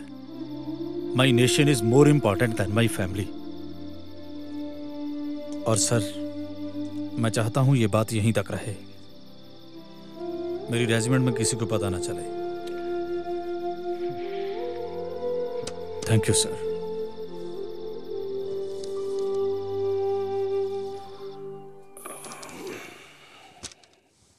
ਦਾਦਾ ਜੀ ਫੇਰ ਪੁੱਤਰ ਜੀ ਮੁਕਤੀ ਵਾਹਿਨੀ ਦੇ ਹੀਰੋ ਪਰਮ ਵਿਸ਼ਿਸ਼ਟ ਸੇਵਾ ਮੈਡਲ ਅਤ ਵਿਸ਼ਿਸ਼ਟ ਸੇਵਾ ਮੈਡਲ ਦੇ ਜਨਰਲ ਵਿਜੇਤਾ ਨੂੰ ਰਿਟਾਇਰਮੈਂਟ ਤੋਂ ਸਿਰਫ ਇੱਕ ਦਿਨ ਪਹਿਲਾਂ ਕੋਰਟ ਮਾਰਸ਼ਲ ਕੀਤੇ ਬਗੈਰ ਨੌਕਰੀ ਤੋਂ ਬਰਖਾਸਤ ਕਰ ਦਿੱਤਾ। ਉਸ ਤੋਂ ਕੁਝ ਸਮੇਂ ਬਾਅਦ ਉਹਨਾਂ ਦੀ ਮੁਲਾਕਾਤ ਸੰਤਾਂ ਨਾਲ ਹੋਈ। ਉਹ ਮੁਲਾਕਾਤ ਤੋਂ ਇੰਨੇ ਪ੍ਰਭਾਵਿਤ ਹੋਏ ਕਿ ਉਹ ਸੰਤਾਂ ਦੀ ਸੰਗਤ ਦੇ ਵਿੱਚ ਜੁੜ ਗਏ। ਜਦੋਂ ਅਸੀਂ ਪਖੰਡੀਆਂ ਦੇ ਧਾਰੀਆਂ ਵੱਲੋਂ ਮਚੀਆਂ ਤੇ ਮੜੀਆਂ ਮਸਾਣੀਆਂ ਕਬਰਾਂ ਤੇ ਜੰਨਾਂ ਨੂੰ ਸੰਧੂਰ ਭੁੱਕਣ ਵੱਲੋਂ ਤੇ ਰਾਜਨੀਤੀ ਦੀ ਕੁਰਸੀ ਦੇ ਹਿਰਸ ਵੱਲੋਂ ਆਪਣੀ ਬਿਰਤੀ ਤੋੜ ਕੇ ਗੁਰੂ ਗ੍ਰੰਥ ਸਾਹਿਬ ਦੇ ਲੜ ਲਾ ਲਈ, ਉਦੋਂ ਦੁਨੀਆ ਦੀ ਕੋਈ ਸ਼ਕਤੀ ਨਹੀਂ ਜਿਹੜੀ ਆਪਾਂ ਨੂੰ ਦਬਾ ਸਕੇਗੀ। ਇਹ ਹਰ ਇੱਕ ਸਿੱਖ ਨੂੰ ਆਪਣੇ ਮਨ ਵਿੱਚ ਆਪਾਂ ਨੂੰ ਧਾਰਨ ਕਰ ਲੈਣਾ ਚਾਹੀਦਾ ਹੈ। ਮੈਂ ਇੱਕ ਕੌਮ ਦੇ ਨਾਂ ਤੇ ਬੇਨਤੀ ਕਰਦਾ ਹਾਂ ਇਹ ਆਪਾਂ ਨੂੰ ਮਨ ਵਿੱਚੋਂ ਕੱਢ ਦੇਣਾ ਚਾਹੀਦਾ ਵੀ ਅਸੀਂ ਪਿੰਡਰਾਂ ਵਾਲੇ ਬਣਨਾ ਤੇ ਅਸੀਂ ਅਕਾਲੀ ਦਲ ਦੇ ਨਾਲ ਬਣਨਾ। ਸਾਰੇ ਸਿੱਖਾਂ ਦੇ ਮਨ ਵਿੱਚ ਇਹ ਅੱਖਰ ਉੱਕਰ ਜਾਣੇ ਚਾਹੀਦੇ ਆ ਕਿ ਅਸੀਂ ਸਤਿਗੁਰੂ ਗ੍ਰੰਥ ਸਾਹਿਬ ਜੀ ਵਾਲੇ ਬਣਨਾ। ਰਸ਼ਪਾਲ ਸਿੰਘ ਜੀ ਤੁਹਾਨੂੰ ਕਾਕੇ ਦੀਆਂ ਬਹੁਤ ਬਹੁਤ ਵਧਾਈਆਂ। ਬਹੁਤ ਬਹੁਤ ਮੁਬਾਰਕਾਂ। ਮਿਹਰਬਾਨੀ ਜੀ। ਸ਼੍ਰੀ ਅਕਾਲ ਜੀ। ਮੇਰੀ ਤੁਹਾਨੂੰ ਵੀ ਬਹੁਤ ਬਹੁਤ ਵਧਾਈਆਂ। ਮਿਹਰਬਾਨੀ ਜੀ ਮਿਹਰਬਾਨੀ। ਸਭ ਉਸ ਵਾਹਿਗੁਰੂ ਦੀ ਕਿਰਪਾ ਹੈ ਇਹ ਨੇ ਭਾਈ ਰਸ਼ਪਾਲ ਸਿੰਘ ਜਿਹੜੇ ਆਪਣੀ ਸਰਕਾਰੀ ਮਾਸਟਰ ਦੀ ਨੌਕਰੀ ਛੱਡ ਕੇ ਸੰਤਾਂ ਦੇ ਪੀਏ ਬਣ ਗਏ ਤੇ ਸੇਵਾ ਵਿੱਚ ਜੁੜ ਗਏ। ਭਾਈ ਸਾਹਿਬ ਦਾ ਆਨੰਦ ਕਾਰਜ ਬੀਬੀ ਪ੍ਰੀਤਮ ਕੌਰ ਨਾਲ ਗੁਰੂ ਰਾਮਦਾਸ ਲੰਗਰ ਹਾਲ ਦੀ ਛੱਤ ਤੇ 20 ਫਰਵਰੀ 1983 ਨੂੰ ਹੋਇਆ। ਵਾਹਿਗੁਰੂ ਨੇ ਉਹਨਾਂ ਦੀ ਝੋਲੀ ਵਿੱਚ 19 ਮਈ 1984 ਨੂੰ ਇੱਕ ਕਾਕੇ ਦੀ ਦਾਤ ਬਖਸ਼ੀ। ਹਾਂਜੀ। ਪ੍ਰੀਤਮ ਕੌਰ ਜੀ ਅਸੀਂ ਕਿੰਨੇ ਭਾਗਾਂ ਵਾਲੇ ਆ। ਸਾਡੇ ਕਾਕੇ ਦਾ ਨਾਂ ਸੰਤਾਂ ਨੇ ਆਪ ਰੱਖਿਆ ਮਨਪ੍ਰੀਤ ਸਿੰਘ। ਹਾਂਜੀ ਖਾਲਸਾ ਜੀ। ਪੂਰੀਆਂ ਕਰੋ। ਪੂਰੀਆਂ ਕਰੋ ਸਾਡੀਆਂ ਮੰਗਾਂ ਪੂਰੀਆਂ ਕਰੋ। ਪੂਰੀਆਂ ਕਰੋ ਪੂਰੀਆਂ ਚੱਲਦੇ ਹੋਏ ਧਰਮ ਯੁੱਧ ਮੋਰਚੇ ਦੌਰਾਨ 4 ਅਪ੍ਰੈਲ 1983 ਨੂੰ ਰਸਤਾ ਰੋਕੋ ਅੰਦੋਲਨ ਤੇ 17 ਜੂਨ 1983 ਨੂੰ ਰੇਲ ਰੋਕੋ ਅੰਦੋਲਨ ਕੀਤਾ ਗਿਆ, ਜਿਨ੍ਹਾਂ ਵਿੱਚ ਪੁਲਿਸ ਹੱਥੋਂ ਕਈ ਸਿੰਘ ਸ਼ਹੀਦ ਹੋ ਗਏ। 6 ਅਕਤੂਬਰ 1983 ਨੂੰ ਕੇਂਦਰ ਸਰਕਾਰ ਨੇ ਪੰਜਾਬ ਦੀ ਸਰਕਾਰ ਭੰਗ ਕਰਕੇ ਪੰਜਾਬ ਵਿੱਚ ਰਾਸ਼ਟਰਪਤੀ ਰਾਜ ਲਾਗੂ ਕਰ ਦਿੱਤਾ। ਪੁੱਤਰ ਜੀ, ਸੰਤ ਜੀ ਇੰਨੇ ਹਰਮਨ ਪਿਆਰੇ ਹੋ ਚੁੱਕੇ ਸਨ ਕਿ ਲੋਕ ਸੰਤਾਂ ਨਾਲ ਆਪਣੀ ਫੋਟੋ ਖਿਚਵਾ ਕੇ ਪ੍ਰਮੋਸ਼ਨ ਲੈਣ ਲੱਗ ਪਏ ਸਨ। ਇੱਥੇ ਤੱਕ ਕਿ ਜਿਹੜੇ ਕੰਮ ਪੁਲਿਸ, ਕੋਰਟ, ਕਚਹਿਰੀਆਂ ਨਹੀਂ ਸੀ ਨਿਪਟਾ ਸਕਦੀਆਂ, ਉਹ ਕੰਮ ਸੰਤਾਂ ਕੋਲ ਆ ਕੇ ਨਿਬੜਨ ਲੱਗ ਗਏ ਸਨ ਤੇ ਲੋਕ ਆਪਣੀਆਂ ਆਪਣੀਆਂ ਸਮੱਸਿਆਵਾਂ ਲੈ ਕੇ ਸੰਤਾਂ ਕੋਲ ਆਉਣ ਲੱਗ ਗਏ ਸੀ।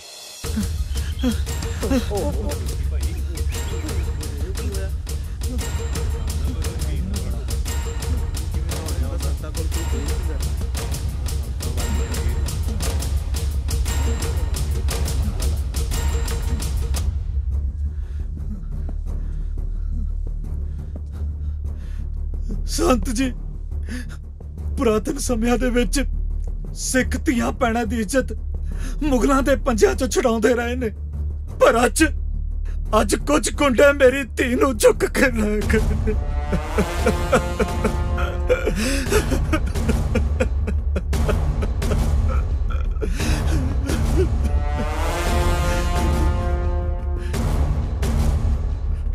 ਪ੍ਰੇਮੀਆਂ ਜੇ ਤੇਰੀ ਗੱਲ ਹੋਈ ਸੱਚੀ ਤੇ ਵਿੱਚੋਂ ਗੱਲ ਕੋਈ ਹੋਰ ਨਾ ਨਿਕਲੀ। ਤੇ ਗੁਰੂ ਕਲਗੀਧਰ ਮਹਾਰਾਜ ਕਿਰਪਾ ਕਰਨਗੇ ਤੇਰੀ ਧੀ ਸ਼ਾਮ 5 ਵਜੇ ਤੋਂ ਪਹਿਲਾਂ ਤੇਰੇ ਘਰੇ ਹੋਊਗੀ। ਧੰਨਵਾਦ ਤੁਹਾਡਾ ਧੰਨਵਾਦ ਬਹੁਤ ਬਹੁਤ ਮਿਹਰਬਾਨੀ। ਮਹਿੰਦਰ ਸਿੰਘ ਸਾਈਆਂ ਇਹ ਡਿਊਟੀ ਤੇਰੇ ਜੁਮੇ ਹੈ ਭਾਈ। ਸਤ ਵਚਨ ਬਾਬਾ ਜੀ।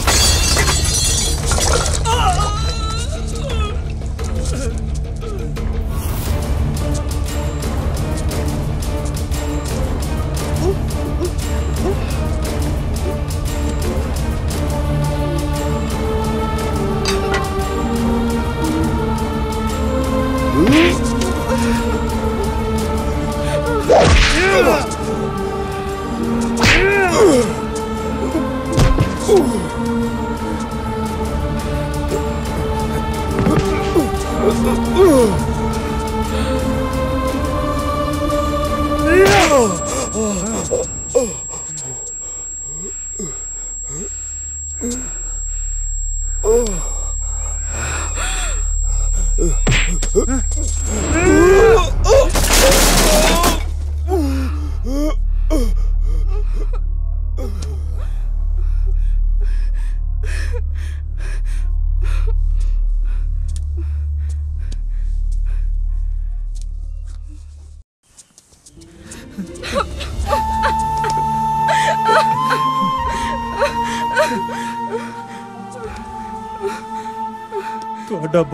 ਧੰਨਵਾਦ ਸਿੰਘ ਸਾਹਿਬ। ਹੁਕਮ ਚੰਦ ਜੀ ਧੰਨਵਾਦ ਦੀ ਕੋਈ ਗੱਲ ਨਹੀਂ। ਧੀਆਂ ਭੈਣਾਂ ਸਭ ਦੀਆਂ ਸਾਂਝੀਆਂ ਹੁੰਦੀਆਂ ਨੇ। ਚੰਗਾ ਭੈਣੇ।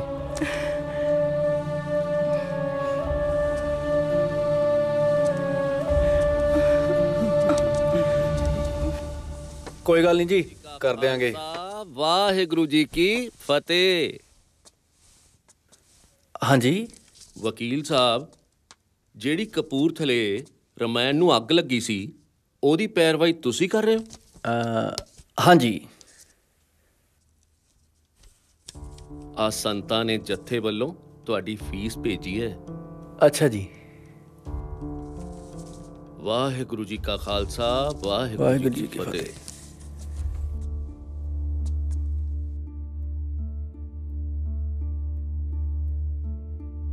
ਇਹ ਉਸ ਸਮੇਂ ਦੀ ਗੱਲ ਹੈ ਜਦੋਂ ਸੁਬਰਾਮਣੀਅਮ ਸਵਾਮੀ ਇੱਕ ਹਫ਼ਤੇ ਦੇ ਦੌਰੇ ਲਈ ਸੰਤਾਂ ਕੋਲ ਦਰਬਾਰ ਸਾਹਿਬ ਆਇਆ ਹੋਇਆ ਸੀ। ਆ ਕੁੜੀ ਦਾ ਸਹੁਰਾ ਪਰਿਵਾਰ ਆ ਗਿਆ ਸੰਤ ਜੀ। ਆ ਜਾਓ ਭਾਈ ਇੱਥੇ ਬਹਿ ਜਾਓ। ਬਹਿ ਜਾਓ ਭਾਈ ਬੀਬੀ ਤੁਸੀਂ ਵੀ ਬਹਿ ਜਾਓ। ਹਾਂ ਭਾਈ ਹੁਣ ਤੁਹਾਨੂੰ ਦਾਜ ਦੀ ਲੋੜ ਆ। ਆ ਨਹੀਂ ਜੀ, ਲਓ ਨਹੀਂ, ਅ, ਇਹਦੇ ਚੋਂ ਰੱਖ ਲਓ ਜਿੰਨੇ ਰੱਖਣੇ ਆ। ਨਹੀਂ ਚਾਹੀਦਾ ਜੀ ਸਾਨੂੰ ਕੁਝ ਸਾਨੂੰ ਨਹੀਂ ਦਹੇਜ ਦੀ ਲੋੜ। ਲੋੜ ਨਹੀਂ ਜੀ। ਸੰਤ ਜੀ ਸਾਨੂੰ ਨਹੀਂ ਚਾਹੀਦਾ ਜੀ ਦਾਜ। ਜੇ ਦਾਜ ਨਹੀਂ ਚਾਹੀਦਾ ਤੇ ਹਾਂਜੀ, ਕੁੜੀ ਨਹੀਂ ਨੂੰ ਚਾਹੀਦਾ ਕਿਉਂ ਜੀ ਤੰਗ ਦਾਜ। ਕਰਦੇ ਹੋ? ਤੁਸੀਂ ਵੀ ਧੀਆਂ ਭੈਣਾਂ ਵਾਲੇ ਹੋ। ਅਕਲ ਨੂੰ ਹੱਥ ਮਾਰੋ ਕੋਈ। ਠੀਕ ਹੈ ਜੀ। ਅੱਛਾ ਜੀ। ਤੇ ਜੇ ਕੁਝ ਚਾਹੀਦਾ ਤੇ ਤਾਂ ਵੀ ਦੱਸੋ। ਨਹੀਂ ਬਾਬਾ ਜੀ ਸਾਨੂੰ ਕੁਝ ਨਹੀਂ ਚਾਹੀਦਾ ਚਾਹੀਦਾ ਜੀ। ਦੇਖ ਲਓ। ਵਿਚਾਰ ਕਰ ਲਓ। ਇਹ ਮੇਰੀ ਧੀ ਹੈ। ਜੇ ਕਿਸੇ ਚੀਜ਼ ਦੀ ਲੋੜ ਹੈ ਤਾਂ ਮੈਥੋਂ ਮੰਗ ਲਿਓ। ਇਹਨੂੰ ਵਿਚਾਰੀ ਨੂੰ ਕੁਝ ਨਹੀਂ ਕਹਿਣਾ। ਠੀਕ ਹੈ ਜੀ। ਨਹੀਂ ਕਰਦੇ ਜੀ। ਨਹੀਂ ਤੇ ਤੰਗ ਨਹੀਂ ਨਵੇੜਾ ਕਰਦੇ। ਸਖਤੀ ਨਾਲ ਹੋਊਗਾ ਭਾਈ। ਫੇਰ ਨਾ ਕਿਉਂ ਦੱਸਿਆ ਨਹੀਂ सरदार जी ये जो आपके धर्मयुद्ध मोर्चे वाली डिमांड है ना ये तो पूरी होने वाली नहीं है देखो आप यह जिद छोड़ दो और सरकार के साथ कॉम्प्रोमाइज कर लो तो फिर से फ्यूचर में सरकार भी आपकी और दिल्ली सरकार से आपको पूरा मान सम्मान मिलेगा पर इस भिंडरा वाले का क्या करें नेताजी आप चिंता मत करो सरकार ने ऑपरेशन सनडाउन की तैयारी कर ली है जो जनवरी में कभी भी पूरा हो सकता है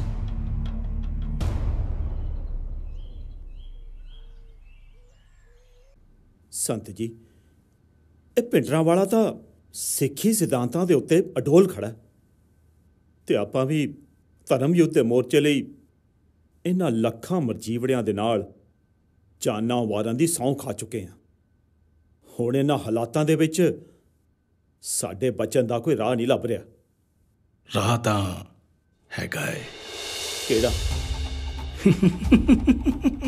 ਜੇ ਆਪਾਂ ਪਿੰਡਰਾ ਵਾਲੇ ਦਾ ਕੰਡਾ ਕੱਢ ਦਈਏ ਤਾਂ। ਪਰ ਕਿੱਦਾਂ? ਉਹਦਾ ਬੰਦੋਬਸਤ ਕੀਤਾ ਹੋਇਆ ਹੈ ਸੁਰਿੰਦਰ ਸ਼ਿੰਦੇ ਨੂੰ ਜੇਲ੍ਹ ਦੇ ਵਿੱਚੋਂ ਰਿਹਾ। ਇਸੇ ਕਰਕੇ ਕਰਵਾਇਆ ਹੈ। ਹੂੰ।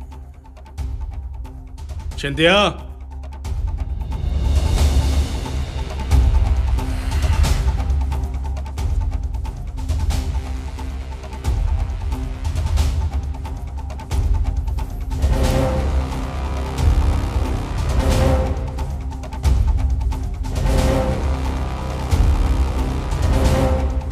ਸਤਿ ਸ਼੍ਰੀ ਅਕਾਲ ਜੀ।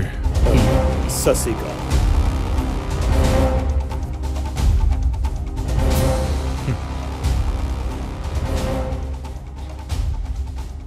ਇਹ ਕੰਮ ਮੈਂ ਤੇ ਬਲਜੀਤ ਰਲ ਕੇ ਕਰਾਂਗੇ।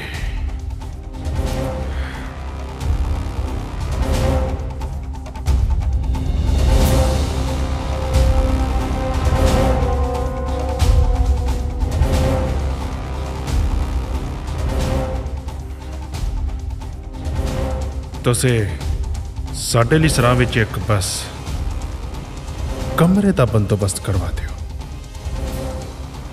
ਤੂੰ ਇਹ ਕੰਮ ਕਰ ਸ਼ਿੰਦਿਆ।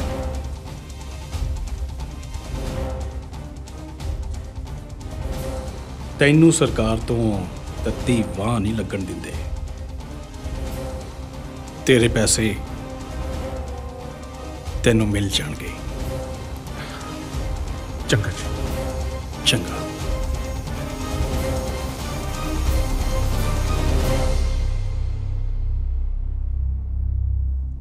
ਪਰ ਸੰਤ ਜੀ ਜੇ ਉਹ ਫੜਿਆ ਗਿਆ ਫੇਰ? ਫੜਿਆ ਗਿਆ ਤਾਂ ਉਹਨਾਂ ਨੇ ਮਾਰ ਦੇਣਾ। ਨਹੀਂ ਤਾਂ ਆਪਾਂ ਮਾਰ ਦੇਣਾ। ਨਾ ਤਾਂ ਉਹਨਾਂ ਦੇ ਹੀ ਲੱਗਣਾ ਹੈ।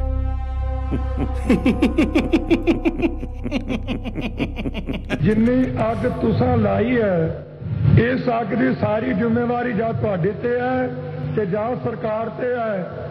ਮੈਂ ਸਰੀਰ ਦੇ ਮਰਨ ਨੂੰ ਮੌਤ ਨਹੀਂ ਗਿਣਦਾ, ਜ਼ਮੀਰ ਦੇ ਮਰਨ ਨੂੰ ਮੌਤ ਗਿਣਦਾ। ਸਿੱਖ ਦੀ ਮੌਤ ਉਦੋਂ ਹੁੰਦੀ ਹੈ ਜਦੋਂ ਆਪਣੀ ਜ਼ਮੀਰ ਨੂੰ ਬੀਬੀ ਇੰਦਰਾ ਦੀ ਚੱਪਲੀ ਦੇ ਥੱਲੇ ਲਾ ਕੇ ਤੇ ਦਾੜਾ ਰੱਖ ਕੇ ਦੇ ਕਹਿ ਰਹੇ ਸਿੱਖ ਕੌਮ ਨੇ, ਮੈਂ ਸਮਝਦਾ ਉਹ ਮਨੁੱਖ ਮਰਿਆ।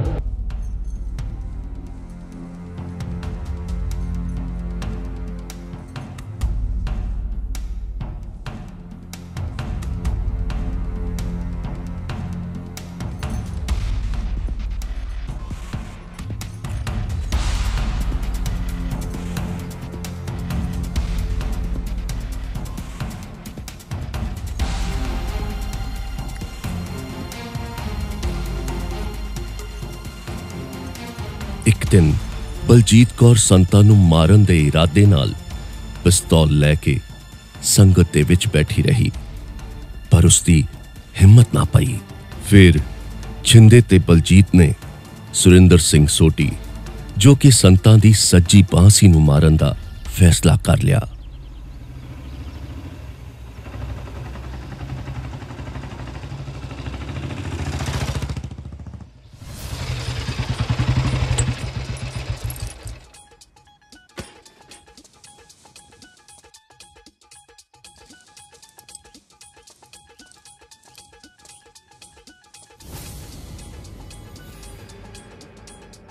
ਵਾਹਿਗੁਰੂ। ਵਾਹਿਗੁਰੂ ਜੀ ਕਾ ਖਾਲਸਾ ਵਾਹਿਗੁਰੂ ਜੀ ਕੀ ਫਤਿਹ। ਛੋਟੀ ਸਾਹਿਬ ਅੱਜ ਸਵੇਰ ਦੇ ਦੋ ਬੰਦੇ ਆਪ ਜੀ ਬਾਰੇ ਪੁੱਛਦੇ ਫਿਰਦੇ ਸੀ ਜੀ। ਪਾਰਟੀਆ ਸਾਹਿਬ ਘੁੰਮ ਫਿਰ ਕੇ ਫੇਰ ਆ ਜਾਣਗੇ। ਤੁਸੀਂ ਦੁੱਧ ਦਾ ਗਲਾਸ ਕਰੋ ਗਰਮ ਇੱਕ। ਅੱਛਾ ਅੱਛਾ ਜੀ। ਛੋਟੂ ਛੋਟੀ ਸਾਹਿਬ ਨੂੰ ਦੁੱਧ ਦੇ ਜਰਾ।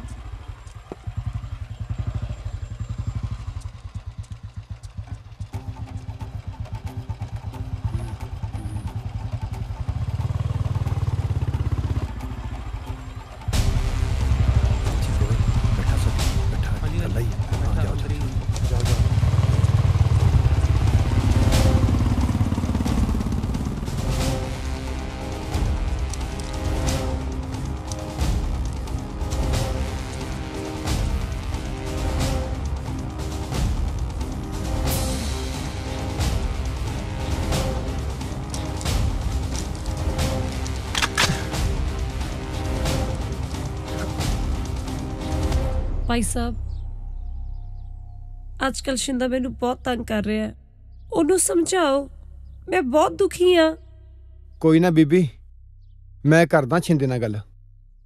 ਤੂੰ ਫਿਕਰ ਨਾ ਕਰ।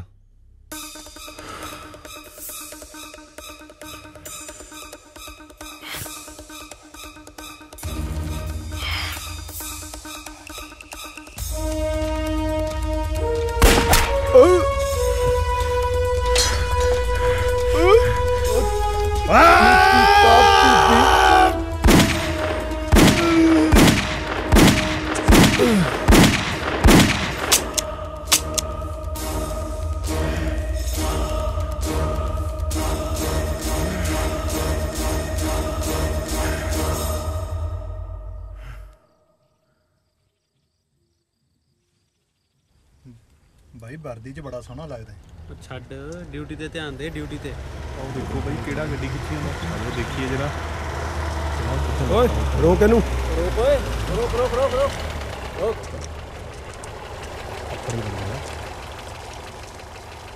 ਹਾਂ ਭਾਈ ਕਿੱਥੋਂ ਆ ਰਹੇ ਆ ਤੇ ਕਿੱਧਰ ਨੂੰ ਜਾ ਰਹੇ ਆ? ਰਾਤ ਦੇ 11 ਵਜੇ ਆ। ਚਲ ਬਾਹਰ ਆ। ਉਹ ਕਾਕਾ ਠੰਡ ਰੱਖ।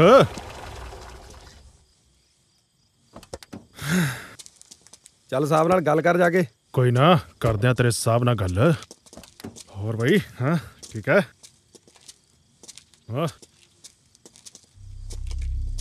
ਜੀ ਸਾਹਿਬ ਅਦਰ ਸਤਿ ਸ਼੍ਰੀ ਅਕਾਲ ਜੀ। ਸਤਿ ਸ੍ਰੀ ਅਕਾਲ। ਉਹ ਜਨਾਬ ਮੈਂ ਸਰਕਾਰ ਦਾ ਖਾਸ ਬੰਦਾ ਆ।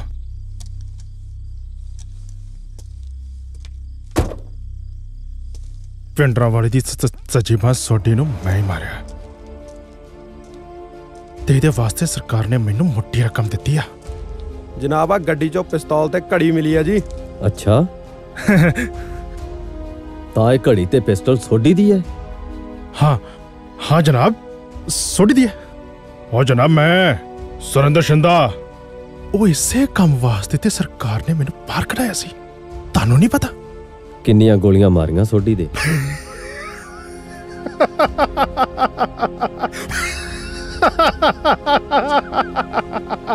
ਸੱਤ ਟਕ ਟਕ ਟਕ ਟਕ ਟਕ ਸੱਤ ਗੋਲੀਆਂ ਮਾਰੀਆਂ ਮੋਤੀ ਇੱਕ ਚ ਮਰ ਗਿਆ ਤਾਂ ਫਿਰ ਇੱਧਰ ਵੇਖ ਓਏ ਮੇਰੀਆਂ ਅੱਖਾਂ ਦੇ ਵਿੱਚ ਚ ਚ ਚ ਚ- ਚੰਦਰ ਲਬ ਸਿੰਘ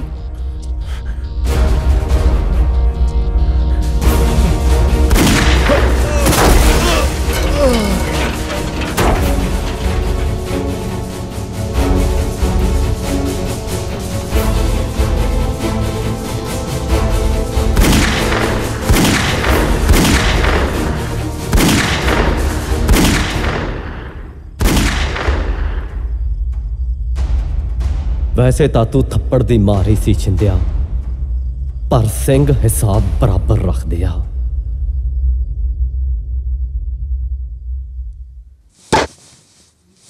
ਅਗਲਿਆਂ ਨੇ 24 ਘੰਟੇ ਨਹੀਂ ਪੈਣ ਦਿੱਤੇ। ਤੇ ਸੋਡੀ ਦਾ ਬਦਲਾ ਲੈ ਲਿਆ। ਤੇ ਤੁਹਾਡੇ ਉਸ ਪਹਾੜੇ ਦੇ ਟੱਟੂ ਨੇ ਸਭ ਕੁਝ ਉਗਲ ਦਿੱਤਾ। ਹੁਣ ਜਿੰਨੀ ਜਲਦੀ ਹੋ ਸਕਦਾ ਦਿੱਲੀ ਵਾਲਿਆਂ ਨੂੰ ਚਿੱਠੀ ਲਿਖੋ ਤੇ ਉਹਨਾਂ ਨੂੰ ਅਗਲੀ ਕਾਰਵਾਈ ਕਰਨ ਲਈ ਕਹੋ। ਪਾਣੀ ਪੀਓ। ਸ਼ਾਂਤੀ ਸ਼ਾਂਤੀ ਸ਼ਾਂਤੀ।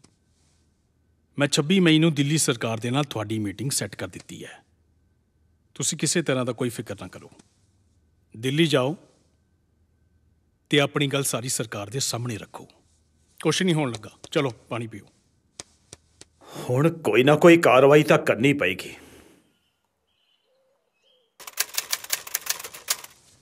ਵਾਹਿਗੁਰੂ ਜੀ ਕਾ ਖਾਲਸਾ ਵਾਹਿਗੁਰੂ ਜੀ ਕੀ ਫਤਿਹ।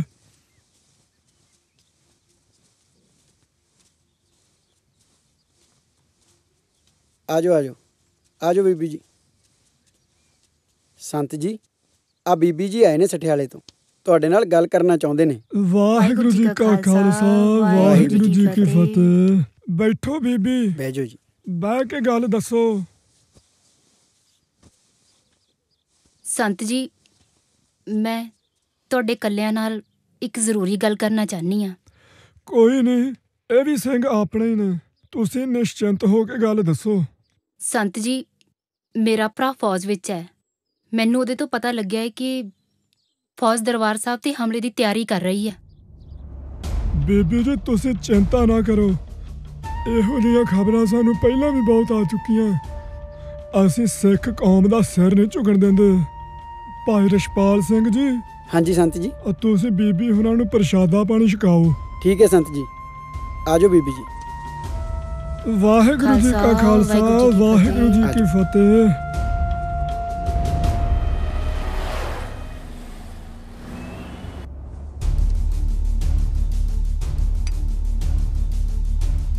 तो क्या वो अब भी कंप्रोमाइज के लिए राजी है कि नहीं वो कॉम्प्रोमाइज के लिए राजी नहीं है हम्म, ਠੀਕ ਹੈ।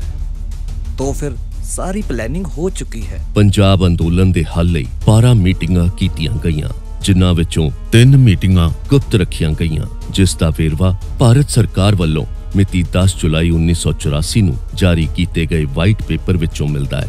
ਬਾਵਜੂਦ ਦੋਵੇਂ ਧਿਰਾਂ ਕਿਸੇ ਠੋਸ ਨਤੀਜੇ ਤੇ ਨਾ ਪਹੁੰਚ ਸਕੀਆਂ, ਤੇ ਅਖੀਰ ਵਿੱਚ 1984 ਦਾ ਕੱਲੂਕਾਰਾ ਵਾਪਰਿਆ। ਚੰਗਾ ਬਈ ਸਿੰਘੋ ਇਜਾਜ਼ਤ ਦਿਓ। ਬਾਹਰ ਜਗਤਾਰ ਸਿੰਘ ਆਇਆ ਬੈਠਾ। ਉਹਨੂੰ ਭੇਜੋ ਅੰਦਰ ਉਹਦੇ ਨਾਲ ਕੋਈ ਰਾਏ ਕਰਨੀ ਆ।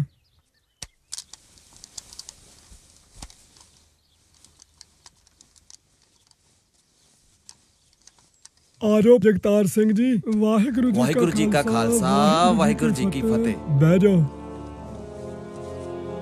ਸੰਤ ਜੀ ਫੌਜਾਂ ਤੈਨਾਤ ਹੋ ਚੁੱਕੀਆਂ ਨੇ। ਕੀ ਹੁਣ ਵੀ ਸਮਝੌਤੇ ਦਾ ਕੋਈ ਰਸਤਾ ਕੱਢਿਆ ਜਾ ਸਕਦਾ? ਵੇਖੋ ਜਗਤਾਰ ਸਿੰਘ ਜੀ ਪਹਿਲੀ ਗੱਲ ਤੇ ਇਹ ਕਿ ਇਹ ਲੜਾਈ ਮੇਰੀ ਨਹੀਂ ਹੈ ਇਕੱਲੇ ਦੀ। ਸਮੁੱਚੇ ਖਾਲਸਾ ਪੰਥ ਦੀ ਹੈ ਤੇ ਸਮਝੌਤਾ ਦੋ ਹੀ ਗੱਲਾਂ ਤੇ ਹੋ ਸਕਦਾ ਹੈ। ਇੱਕ ਤੇ ਇਹ ਕਿ ਸਰਕਾਰ ਆਨੰਦਪੁਰ ਸਾਹਿਬ ਦਾ ਸਾਰਾ ਮਤਾ ਮੰਨ ਕੇ ਜਨਤਕ ਰੂਪ 'ਚ ਐਲਾਨ ਕਰੇ ਤੇ ਅਕਾਲੀ ਦਲ ਦੀਆਂ ਮੰਗਾਂ ਵੀ ਵਾਜਬ ਰੂਪ 'ਚ ਮੰਨੀਆਂ ਜਾਣ। ਤੇ ਦੂਜਾ ਇਹ ਕਿ ਮੇਰੇ ਜਿਹੜੇ ਸਿੰਘ ਸਾਰੇ ਫੜੇ ਆ ਉਹ ਛੇਤੀ ਤੋਂ ਛੇਤੀ ਰਿਹਾ ਕੀਤੇ ਜਾਣ। ਮੈਂ ਅਗਲੇ ਹੀ ਦਿਨ ਮਹਿਤਾ ਚੌਂਕ, ਟਕਸਾਲ ਵਾਪਸ ਚਲਾ ਜਾਵਾਂਗਾ। ਮੇਰੇ ਵੱਲੋਂ ਕੋਈ ਦਿੱਕਤ ਨਹੀਂ।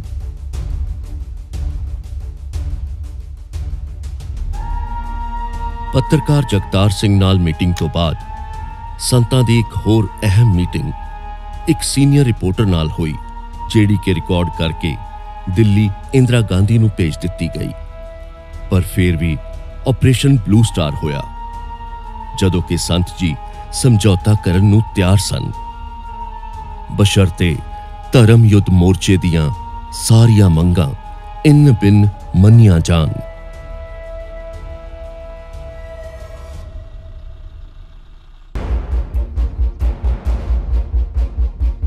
ਵਾਹਿਗੁਰੂ ਜੀ ਕਾ ਖਾਲਸਾ, ਵਾਹਿਗੁਰੂ ਜੀ ਕੀ ਫਤਿਹ। ਖਾਲਸਾ ਜੀ, ਉਹ ਦਿਨ ਆ ਗਿਆ ਹੈ ਜਿਸ ਦੀ ਉਡੀਕ ਸੀ। ਹੁਣ ਹਵਾਈ ਜਹਾਜ਼ ਵੀ ਆਉਣਗੇ ਤੇ ਪੈਦਲ ਫੌਜ ਵੀ ਆਵੇਗੀ। ਇਸ ਵਾਸਤੇ ਜਿਵੇਂ ਮੁਸਲਮਾਨ ਵਾਸਤੇ ਮੱਕੇ ਤੋਂ ਪਰੇ ਉਜਾੜ ਹੈ, ਇਸੇ ਤਰ੍ਹਾਂ ਗੁਰੂ ਕੇ ਸਿੱਖ ਵਾਸਤੇ ਹਰਮੰਦਰ ਸਾਹਿਬ ਤੋਂ ਪਰੇ ਸਭ ਕੁਝ ਉਜਾੜ ਹੀ ਉਜਾੜ ਹੈ। ਸੋ ਜੇ ਗਵਰਨਮੈਂਟ ਨੇ ਮਨ ਬਣਾ ਹੀ ਲਿਆ ਕਿ ਸ੍ਰੀ ਅਕਾਲ ਤਖਤ ਸਾਹਿਬ ਨੂੰ ਢਹਿ ਢੇਰੀ ਕਰਨਾ ਹੈ, ਤੇ ਸਿੰਘੋ ਗੋਲੀ ਦੀ ਪਹਿਲ ਨਹੀਂ ਕਰਨੀਗੀ ਪਰ ਜੇ ਸ਼ਾਤਾਬਦਾਰ ਫੌਜ ਹਵਾਈ ਜਹਾਜ਼ਾਂ ਰਾਹੀਂ ਉੱਤਰ ਆਵੇ ਤੇ ਖੰਡਾ ਖੜਕਾ ਦਿਓ ਫਿਰ ਇੱਕ ਵਾਰੀ।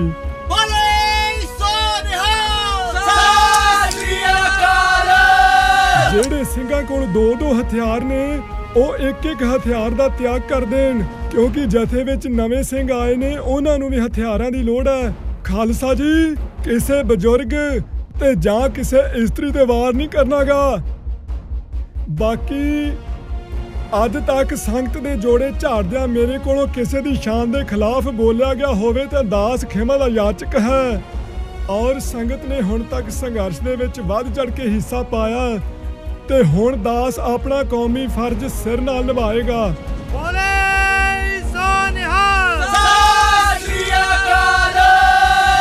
ਜੇ ਕੋਈ ਜਾਣਾ ਚਾਹੁੰਦਾ ਤਾਂ ਜਾ ਸਕਦਾ ਹੈ। ਸਾਧ ਨੇ ਤਾਂ ਹੁਣ ਡੇਰਾ ਲਾ ਲਿਆ। ਹੁਣ ਜਾਂ ਤਾਂ ਟਾਂਡਿਆਂ ਵਾਲੀ ਰਹੂਗੀ ਤੇ ਜਾਂ ਫਿਰ ਭਾਂਡਿਆਂ ਵਾਲੀ।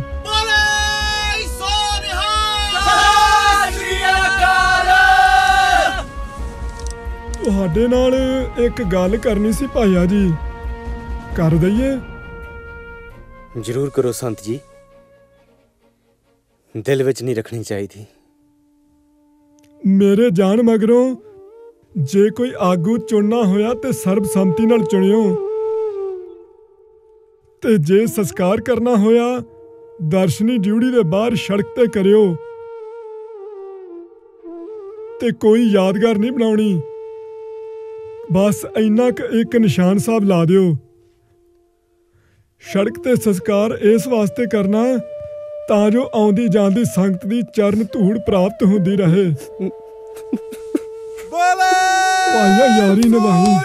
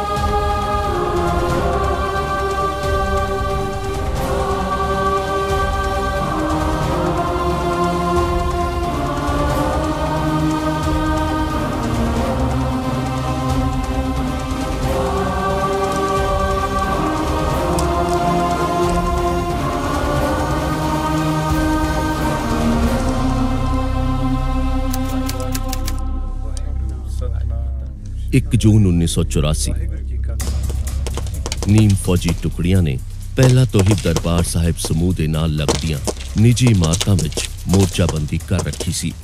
ਸੀਆਰਪੀਐਫ ਨੇ ਦੁਪਹਿਰ 12:40 ਮਿੰਟ ਤੇ ਗੋਲੀਬਾਰੀ ਸ਼ੁਰੂ ਕੀਤੀ, ਜੋ ਸ਼ਾਮ 7 ਵਜੇ ਤੱਕ ਚੱਲਦੀ ਰਹੀ।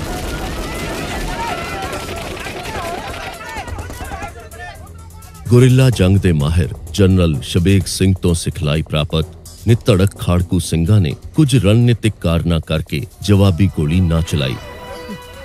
ਭਾਵੇਂ ਕਿ ਦਰਜਨ ਤੋਂ ਵੱਧ નિર્ਦੋਸ਼ ਯਾਤਰੂ ਮਾਰੇ ਗਏ। 2 ਜੂਨ 1984 ਭਾਰਤੀ ਫੌਜ ਨੇ ਜੰਮੂ ਕਸ਼ਮੀਰ ਤੋਂ ਲੈ ਕੇ ਗੰਗਾ ਨਗਰ ਤੱਕ ਅੰਤਰਰਾਸ਼ਟਰੀ ਸਰਹੱਦ ਸੀਲ ਕਰ ਦਿੱਤੀ ਹੋਈ ਸੀ ਤੇ ਫੌਜ ਦੀਆਂ 7 ਡਿਵੀਜ਼ਨਾਂ ਪੰਜਾਬ ਦੇ ਪਿੰਡਾਂ ਵਿੱਚ ਤਾਇਨਾਤ ਕਰ ਦਿੱਤੀਆਂ ਗਈਆਂ ਸਨ। ਰਾਤ ਪੈਣ ਤੇ ਮੀਡੀਆ ਤੇ ਪ੍ਰੈਸ ਤੇ ਪਾਬੰਦੀ ਲਾ ਦਿੱਤੀ ਗਈ। ਰੇਲ, ਸੜਕ ਅਤੇ ਹਵਾਈ ਸੇਵਾਵਾਂ ਰੋਕ ਦਿੱਤੀਆਂ ਗਈਆਂ। ਸੰਚਾਰ ਸਾਧਨ ਠੱਪ ਕਰ ਦਿੱਤੇ ਗਏ। ਪੰਜਾਬ ਨੂੰ ਦੇਸ਼ ਅਤੇ ਸੰਸਾਰ ਨਾਲੋਂ ਕੱਟ ਦਿੱਤਾ ਗਿਆ। ਦਰਬਾਰ ਸਾਹਿਬ ਸਮੂਹ ਨੂੰ ਪਾਣੀ ਦੀ ਸਪਲਾਈ ਬੰਦ ਕਰ ਦਿੱਤੀ ਗਈ।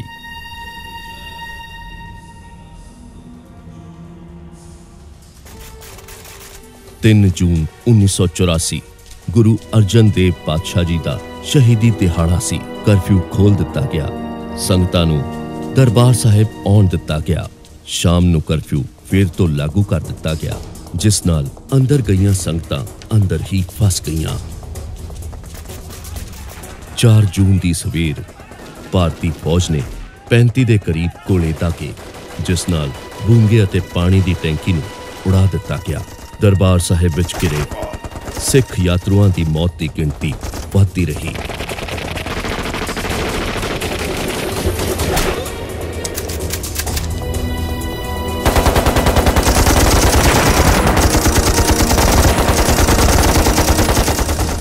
ਪੰਜ ਜੂਨ 1984 ਤਿੰਨ ਦਿਨ ਯਾਨੀ ਕਿ 72 ਘੰਟੇ ਦੀ ਗਹਿ-ਗਚ ਲੜਾਈ ਤੋਂ ਬਾਅਦ ਵੀ ਫੌਜ ਆਪਣੇ ਨਿਸ਼ਾਨੇ ਤੋਂ ਪਿੱਛੇ ਸੀ ਉਧਰ ਦੂਜੇ ਪਾਸੇ ਭੁੱਜੇ ਛੋਲੇ ਖਾ ਕੇ, ਆਪਣਾ ਪਸੀਨਾ ਪੀ ਕੇ, ਦਿਨ ਰਾਤ ਜਾਗ ਕੇ ਸਿੱਖੀ ਦੇ ਰਾਖੇ ਨਿਤੜ ਬਹਾਦਰ ਯੋਧੇ ਆਪਣੇ ਮੋਰਚਿਆਂ ਤੇ ਡਟੇ ਰਹੇ।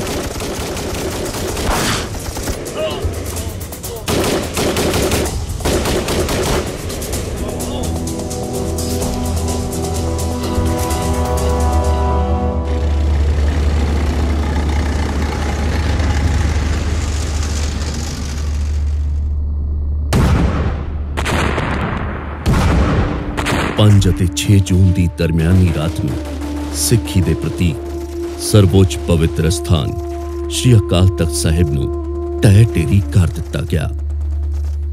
ਸ਼੍ਰੀ ਅਕਾਲ ਤਖਤ ਸਾਹਿਬ ਦਾ ਸਾਹਮਣਾ ਪਾਸਾ ਪੂਰੇ ਦਾ ਪੂਰਾ ਤਬਾਹ ਹੋ ਗਿਆ। ਬਸ ਇੱਕ ਥੰਮ ਹੀ ਖਲੋਤਾ ਰਹਿ ਗਿਆ। ਨਾਲ ਲੱਗਦੀਆਂ ਇਮਾਰਤਾਂ ਨੂੰ ਵੀ ਬੰਬਾਰੀ ਕਰਕੇ ਮਿੱਟੀ ਵਿੱਚ ਮਿਲਾ ਦਿੱਤਾ ਗਿਆ। ਕਾਮ ਕ੍ਰੋਧ ਨਗਰ ਬੋ ਭਰਿਆ ਮਿਲ ਸਾਧੂ ਖੰਡਲ ਖੰਡਾਹੇ, ਪੂਰਬ ਲਿਖਤ ਲਿਖੇ ਗੁਰ ਪਾਇਆ, ਮਨ ਹਰ ਲਿਵ ਮੰਡਲ ਮੰਡਾਹੇ, ਕਰ ਸਾਧੂ ਅੰਜਲੀ ਪੁਨ ਵੱਡਾ ਕਰ ਡੰਡੌਤ ਪੁਨ ਵੱਡਾ ਹੈ ਰਹਾਓ ਸਾਕਤ ਹਰ ਰਸ ਸਾਧਨਾ ਜਾਣਿਆ, ਤਿਨ ਅੰਤਰ ਹਉਮੈ ਕੰਡਾ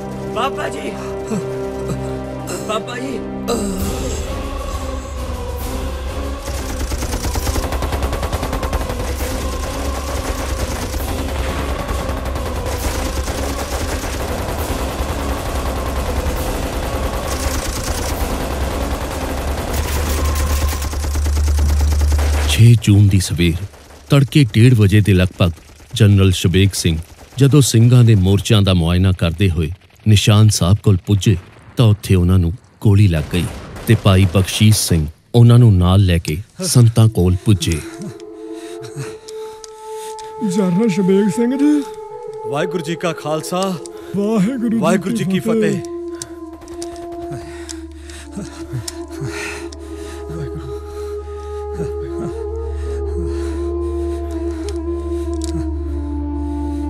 ਮਹਾਂਪੁਰਸ਼ੋ ਜਿੰਨੀ ਕੁ ਸੇਵਾ ਲੈਣੀ ਸੀ, ਲੈ ਲਿੱਤੀ ਲੱਗਦਾ ਵਾਹਿਗੁਰੂ ਨੇ। ਮੈਂ ਜਿਹੜਾ ਵਚਨ ਕੀਤਾ ਸੀ, ਉਹਨਾਂ ਵਚਨਾਂ ਅਨੁਸਾਰ ਹਥਿਆਰ ਛੱਡ ਕੇ ਨਹੀਂ ਆਇਆ ਨਾਲ ਲੈ ਕੇ ਆਇਆ। ਵਾਹਿਗੁਰੂ ਨੇ ਤੁਹਾਨੂੰ ਇਹ ਸੇਵਾ ਲਈ ਆਪ ਚੁਣਿਆ, ਸ਼ਬੇਗ ਸਿੰਘ ਜੀ। ਹੁਣ ਦੱਸੋ ਕਿਦਾਂ ਦਾ ਮਹਿਸੂਸ ਕਰ ਰਹੇ ਹੋ? ਮਹਾਂਪੁਰਸ਼ੋ, ਦਾਸ ਨੂੰ ਆਤਮਕ ਤੌਰ ਤੇ ਬਹੁਤ ਪ੍ਰਸੰਨਤਾ ਹੋ ਰਹੀ ਹੈ। ਸਿੰਘ ਤੋਪਾਂ ਦਾ ਡਟ ਕੇ ਮੁਕਾਬਲਾ ਕਰ ਰਹੇ ਨੇ। ਬਾਕੀ ਗੁਰੂ ਰਾਮਦਾਸ ਜੀ ਦਾ ਘਰ ਤੇ ਤੁਹਾਡੀ ਗੋਦ ਹੈ। ਬਹੁਤ ਆਨੰਦ ਆ ਰਿਹਾ ਕੁਝ ਸਮੇਂ ਦਾ ਹੇਰ-ਫੇਰ ਹੋ ਸਕਦਾ, ਸ਼ਬੇਗ ਸਿੰਘ ਜੀ। ਤੁਸੀਂ ਚੱਲੋ ਤੇ ਅਸੀਂ ਆਏ। ਬਹੁਤ ਆਨੰਦ ਮਹਿਸੂਸ ਕਰ ਰਿਹਾ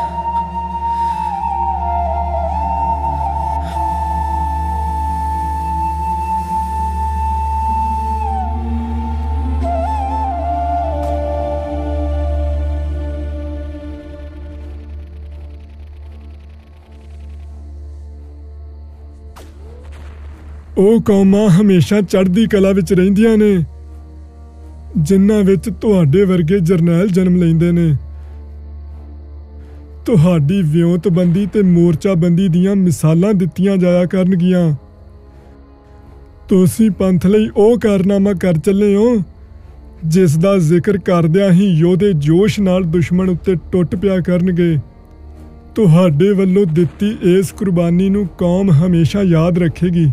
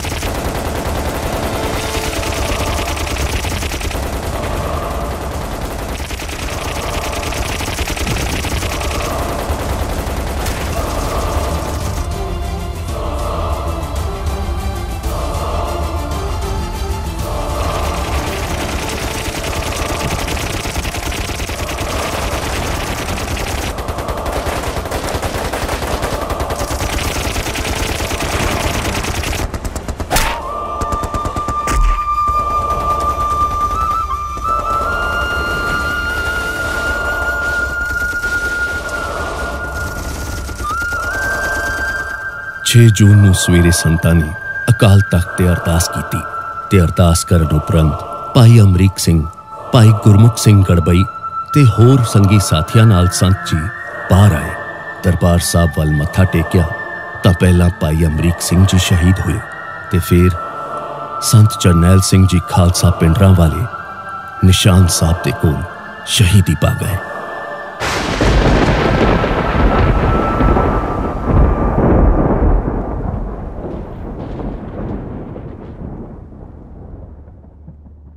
ਦਾਦਾ ਜੀ ਸਰਕਾਰ ਨੂੰ ਦਰਬਾਰ ਸਾਹਿਬ ਤੇ ਅਟੈਕ ਨਹੀਂ ਕਰਨਾ ਚਾਹੀਦਾ ਸੀ। ਪੁੱਤਰ ਸਰਕਾਰ ਨੇ ਕੇਵਲ ਦਰਬਾਰ ਸਾਹਿਬ ਤੇ ਨਹੀਂ ਅਟੈਕ ਕੀਤਾ ਬਲਕਿ ਹੋਰ ਗੁਰਦੁਆਰਿਆਂ ਤੇ ਵੀ ਹਮਲੇ ਕੀਤੇ। ਨਾਲੇ ਪੁੱਤਰ ਫੌਜ ਵੱਲੋਂ ਚੱਕੇ ਗਏ 180 ਤੋਂ ਵੱਧ ਗੁਰੂ ਗ੍ਰੰਥ ਸਾਹਿਬ ਜੀ ਦੇ ਹਸਤ ਲਿਖਤ ਸਰੂਪ ਵੀ ਅੱਜ ਤੱਕ ਵਾਪਸ ਨਹੀਂ ਕੀਤੇ ਗਏ। ਪੁੱਤਰ ਜੀ ਅਟੈਕ ਤਾਂ ਡੇਢ ਦਹਾਕੇ ਤੱਕ ਚੱਲਦਾ ਰਿਹਾ। ਕਿੰਨਿਆਂ ਹੀ ਪਰਿਵਾਰਾਂ ਦੇ ਉੱਪਰ ਅਨਮਨੁੱਖਾ ਤਸ਼ੱਦਦ ਢਾਇਆ ਗਿਆ। ਕਿੰਨੀਆਂ ਹੀ ਮਾਵਾਂ ਦੇ ਪੁੱਤਾਂ ਨੂੰ ਘਰੋਂ ਚੁੱਕ ਕੇ ਕਦੀ ਨਹਿਰ ਦੇ ਕੰਢੇ, ਕਦੀ ਜੇਲ੍ਹ ਦੇ ਵਿੱਚ, ਕਦੀ ਰਾਹਾਂ ਦੇ ਵਿੱਚ ਗੋਲੀ ਮਾਰ ਕੇ ਮਾਰ ਦਿੱਤਾ ਗਿਆ। ਇੱਥੋਂ ਤੱਕ ਕਿ ਉਹਨਾਂ ਦੀਆਂ ਲਾਸ਼ਾਂ ਵੀ ਨਹੀਂ ਵਾਪਸ ਕੀਤੀਆਂ ਗਈਆਂ। ਇੱਕ ਬਹੁਤ ਮਸ਼ਹੂਰ human right activist Jaswant Singh Khalra ਜਿਸ ਨੇ 25000 ਅਨਆਇਡੈਂਟੀਫਾਈਡ ਬਾਡੀਜ਼ ਨੂੰ ਆਇਡੈਂਟੀਫਾਈ ਕੀਤਾ ਸੀ। ਪੁਲਿਸ ਨੇ ਉਸ ਨੂੰ ਵੀ ਸ਼ਰੇਆਮ ਘਰ ਦੇ ਬਾਹਰੋਂ ਚੁੱਕ ਕੇ ਗੋਲੀ ਮਾਰਤੀ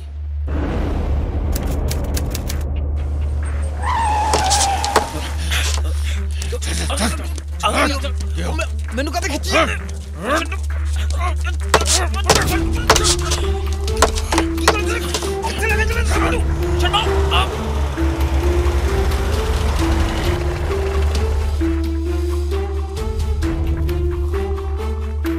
ਸਰ।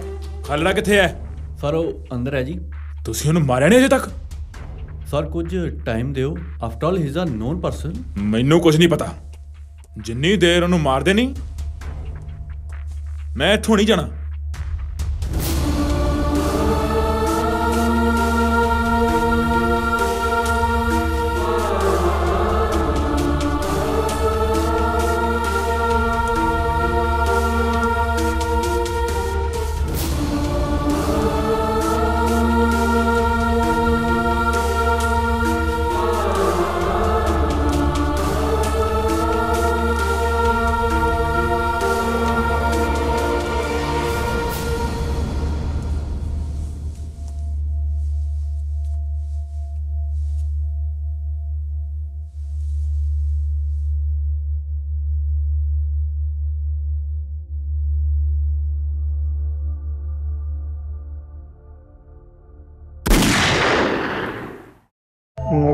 ਤੇ ਅੰਗਰੇਜ਼ਾਂ ਦੇ ਰਾਜ ਦੇ ਸਾਰੇ ਪਾਪ ਨੂੰ ਇਸ ਰਾਜ ਵਾਲੇ ਨੇ ਮਾਤ ਪਾ ਦਿੱਤਾ ਜੋ ਸ੍ਰੀ ਹਰਮੰਦਰ ਸਾਹਿਬ ਤੇ ਹਮਲਾ ਕੀਤਾ। ਮੇਰੇ ਵੱਲੋਂ ਸਿੱਖਾਂ ਨੂੰ ਪੁਰਜੋਰ ਅਪੀਲ ਹੈ, ਇਹਦਾ ਮੂੰਹ ਤੋੜਵਾ ਜਵਾਬ ਦੇਣ। ਕਮ, ਕੇਵਲ ਕਮਰ ਕਸਾ ਨਾ ਕਰਨ, ਕਮਰ ਕਸਾ ਕਰਕੇ ਤੁਰਨ। ਸਿੱਖਾਂ ਦੇ ਉੱਪਰ ਇਹ ਤੋਂ ਹੋਰ ਕੋਈ ਵੱਡੀ ਗੁਲਾਮੀ ਦੀ ਨਿਸ਼ਾਨੀ ਨਹੀਂ ਹੋ ਸਕਦੀ, ਜਿਹੜਾ ਹੁਣ ਪਾਪ ਹੋਇਆ। ਇਹ ਸਿੱਖੀ ਸਰੂਪ ਨੂੰ ਪਸੰਦ ਨਹੀਂ ਕਰਦੇ ਸਿੱਖਾਂ ਨੂੰ ਖਤਮ ਕਰਨਾ ਚਾਹੁੰਦੇ ਆ। ਜਿਹੜੀ ਜਿਹੜੀ ਕਿ ਆਸ ਹੈ ਇਹਨਾਂ ਦੀ ਪੂਰੀ ਨਹੀਂ ਹੋ ਸਕਣੀ। ਕਿਉਂਕਿ ਸਿੱਖੀ ਸਰੂਪ ਨੂੰ ਖਤਮ ਕਰਨ ਵਾਲੀਆਂ ਬਹੁਤ ਹਕੂ- ਹਕੂਮਤਾਂ ਹੋ ਗੁਜ਼ਰੀਆਂ ਇਹਨੇ ਵੀ ਉਸੇ ਤਰ੍ਹਾਂ ਚਲੀ ਜਾਣਾ। ਸਤਿਗੁਰਾਂ ਦੇ ਚਰਨਾਂ ਦੀ ਨਿੱਘ ਮਾਨ ਦੇ ਗੁਰੂ ਦੇ ਪਿਆਰਿਓ ਵਾਹਿਗੁਰੂ ਜੀ ਕਾ ਖਾਲਸਾ। ਸ੍ਰੀ ਵਾਹਿਗੁਰੂ ਜੀ ਕੀ ਫਤਿਹ। ਇੱਕ ਲਘੂ ਕਥਾ ਹੈ। ਕਿ ਜਦ ਸੂਰਜ ਪਹਿਲੀ ਵਾਰ ਅਸਤਨ ਲੱਗਾ ਸੀ, ਤਾਂ ਜਿਉਂ-ਜਿਉਂ ਉਹ ਆਪਣਾ ਪੰਧ ਮੁਕਾ ਰਿਹਾ ਸੀ, ਚਾਨਣ ਘਟ ਰਿਹਾ ਸੀ। ਚਾਨਣ ਘਟ ਰਿਹਾ ਸੀ, ਹਨੇਰੇ ਦੀ ਆਮਦ ਦੇ ਨਿਸ਼ਾਨ ਪ੍ਰਗਟ ਹੋ ਰਹੇ ਸੀ ਤੇ ਕਹਿੰਦੇ ਆ, ਲੋਕਾਂ 'ਚ ਹਾਹਾਕਾਰ ਮਚ ਰਹੀ ਸੀ। ਕਿ ਸੂਰਜ ਛਿਪ ਜਾਊਗਾ, ਹਨੇਰਾ ਪਸਰ ਜਾਊਗਾ, ਕਿਸੇ ਨੂੰ ਕੁਝ ਦਿਸੂ ਨਾ ਤੇ ਸਾਡਾ ਕੀ ਬਣੂਗਾ। ਦੁਨੀਆ ਫਿਕਰਮੰਦ ਸੀ, ਪਰ ਸੂਰਜ ਅਸਤਿਆ। ਹਨੇਰੇ ਨੇ ਆਪਣਾ ਜ਼ੋਰ ਵਿਖਾਉਣ ਲਈ ਧਰਤੀ ਤੇ ਪੈਰ ਪਾਇਆ, ਪਰ ਕਹਿੰਦੇ ਆ, ਦੂਰ ਕਿਸੇ ਝੌਂਪੜੀ ਚੋਂ ਇੱਕ ਦੀਪਕ ਨੇ ਸਿਰ ਚੁੱਕਿਆ। ਉਸ ਨੇ ਕਿਹਾ ਕਿ ਮੈਂ ਹਨੇਰੇ ਨੂੰ ਚੈਲੰਜ ਕਰਦਾ ਹੋਰ ਕੁਛ ਨਹੀਂ ਤੇ ਆਪਣੇ ਆਲੇ ਦਿਵਾਲੇ ਤਾਂ ਮੈਂ ਇਸ ਨੂੰ ਨਹੀਂ ਲਾਗੇ ਲੱਗਣ ਦਿਆਂਗਾ। ਆਪਣੇ ਆਲੇ ਦਿਵਾਲੇ ਤਾਂ ਚਾਨਣ ਕਾਇਮ ਕਰਾਂਗਾ। ਤਾਂ ਉਸ ਦੀਪਕ ਨੂੰ ਦੇਖ ਕੇ ਕਹਿੰਦੇ ਹਰ ਝੁੱਗੀ ਝੌਂਪੜੀ 'ਚ ਇੱਕ ਦੀਪਕ ਉੱਠਿਆ। ਤੇ ਦੁਨੀਆ ਹੈਰਾਨ ਰਹਿ ਗਈ ਕਿ ਇਹਨਾਂ ਦੀਪਕਾਂ ਨੇ ਹਨੇਰੇ ਨੂੰ ਪਸਰ ਨੂੰ ਰੋਕਿਆ ਤੇ ਲੋਕ ਦੇਖ ਸਕੇ। ਤੇ ਮੈਂ ਸਮਝਦਾ ਕਿ ਅੱਜ ਜਦੋਂ ਇੱਕ ਹਨੇਰਾ ਪੂਰੇ ਜ਼ੋਰ ਦੇ ਨਾਲ ਸੱਚ ਦੇ ਉੱਤੇ ਫਤਿਹ ਪਾਉਣ ਲਈ ਲਲਕਾਰ ਰਿਹਾ ਹੈ ਤਾਂ ਹੋਰ ਕੁਝ ਨਹੀਂ ਤਾਂ ਮੈਂ ਕਹੂੰਗਾ ਅਨਖੀਲਾ ਪੰਜਾਬ, ਇੱਕ ਦੀਪਕ ਦੀ ਨਿਆਈ ਇਸ ਨੂੰ ਚੈਲੰਜ ਕਰ ਰਿਹਾ ਹੈ ਤੇ ਅਰਦਾਸ ਕਰਦਾ ਕਿ ਸਤਿਗੁਰੂ ਇਸ ਜੋਤ ਨੂੰ ਜਗਦੀ ਰੱਖੇ।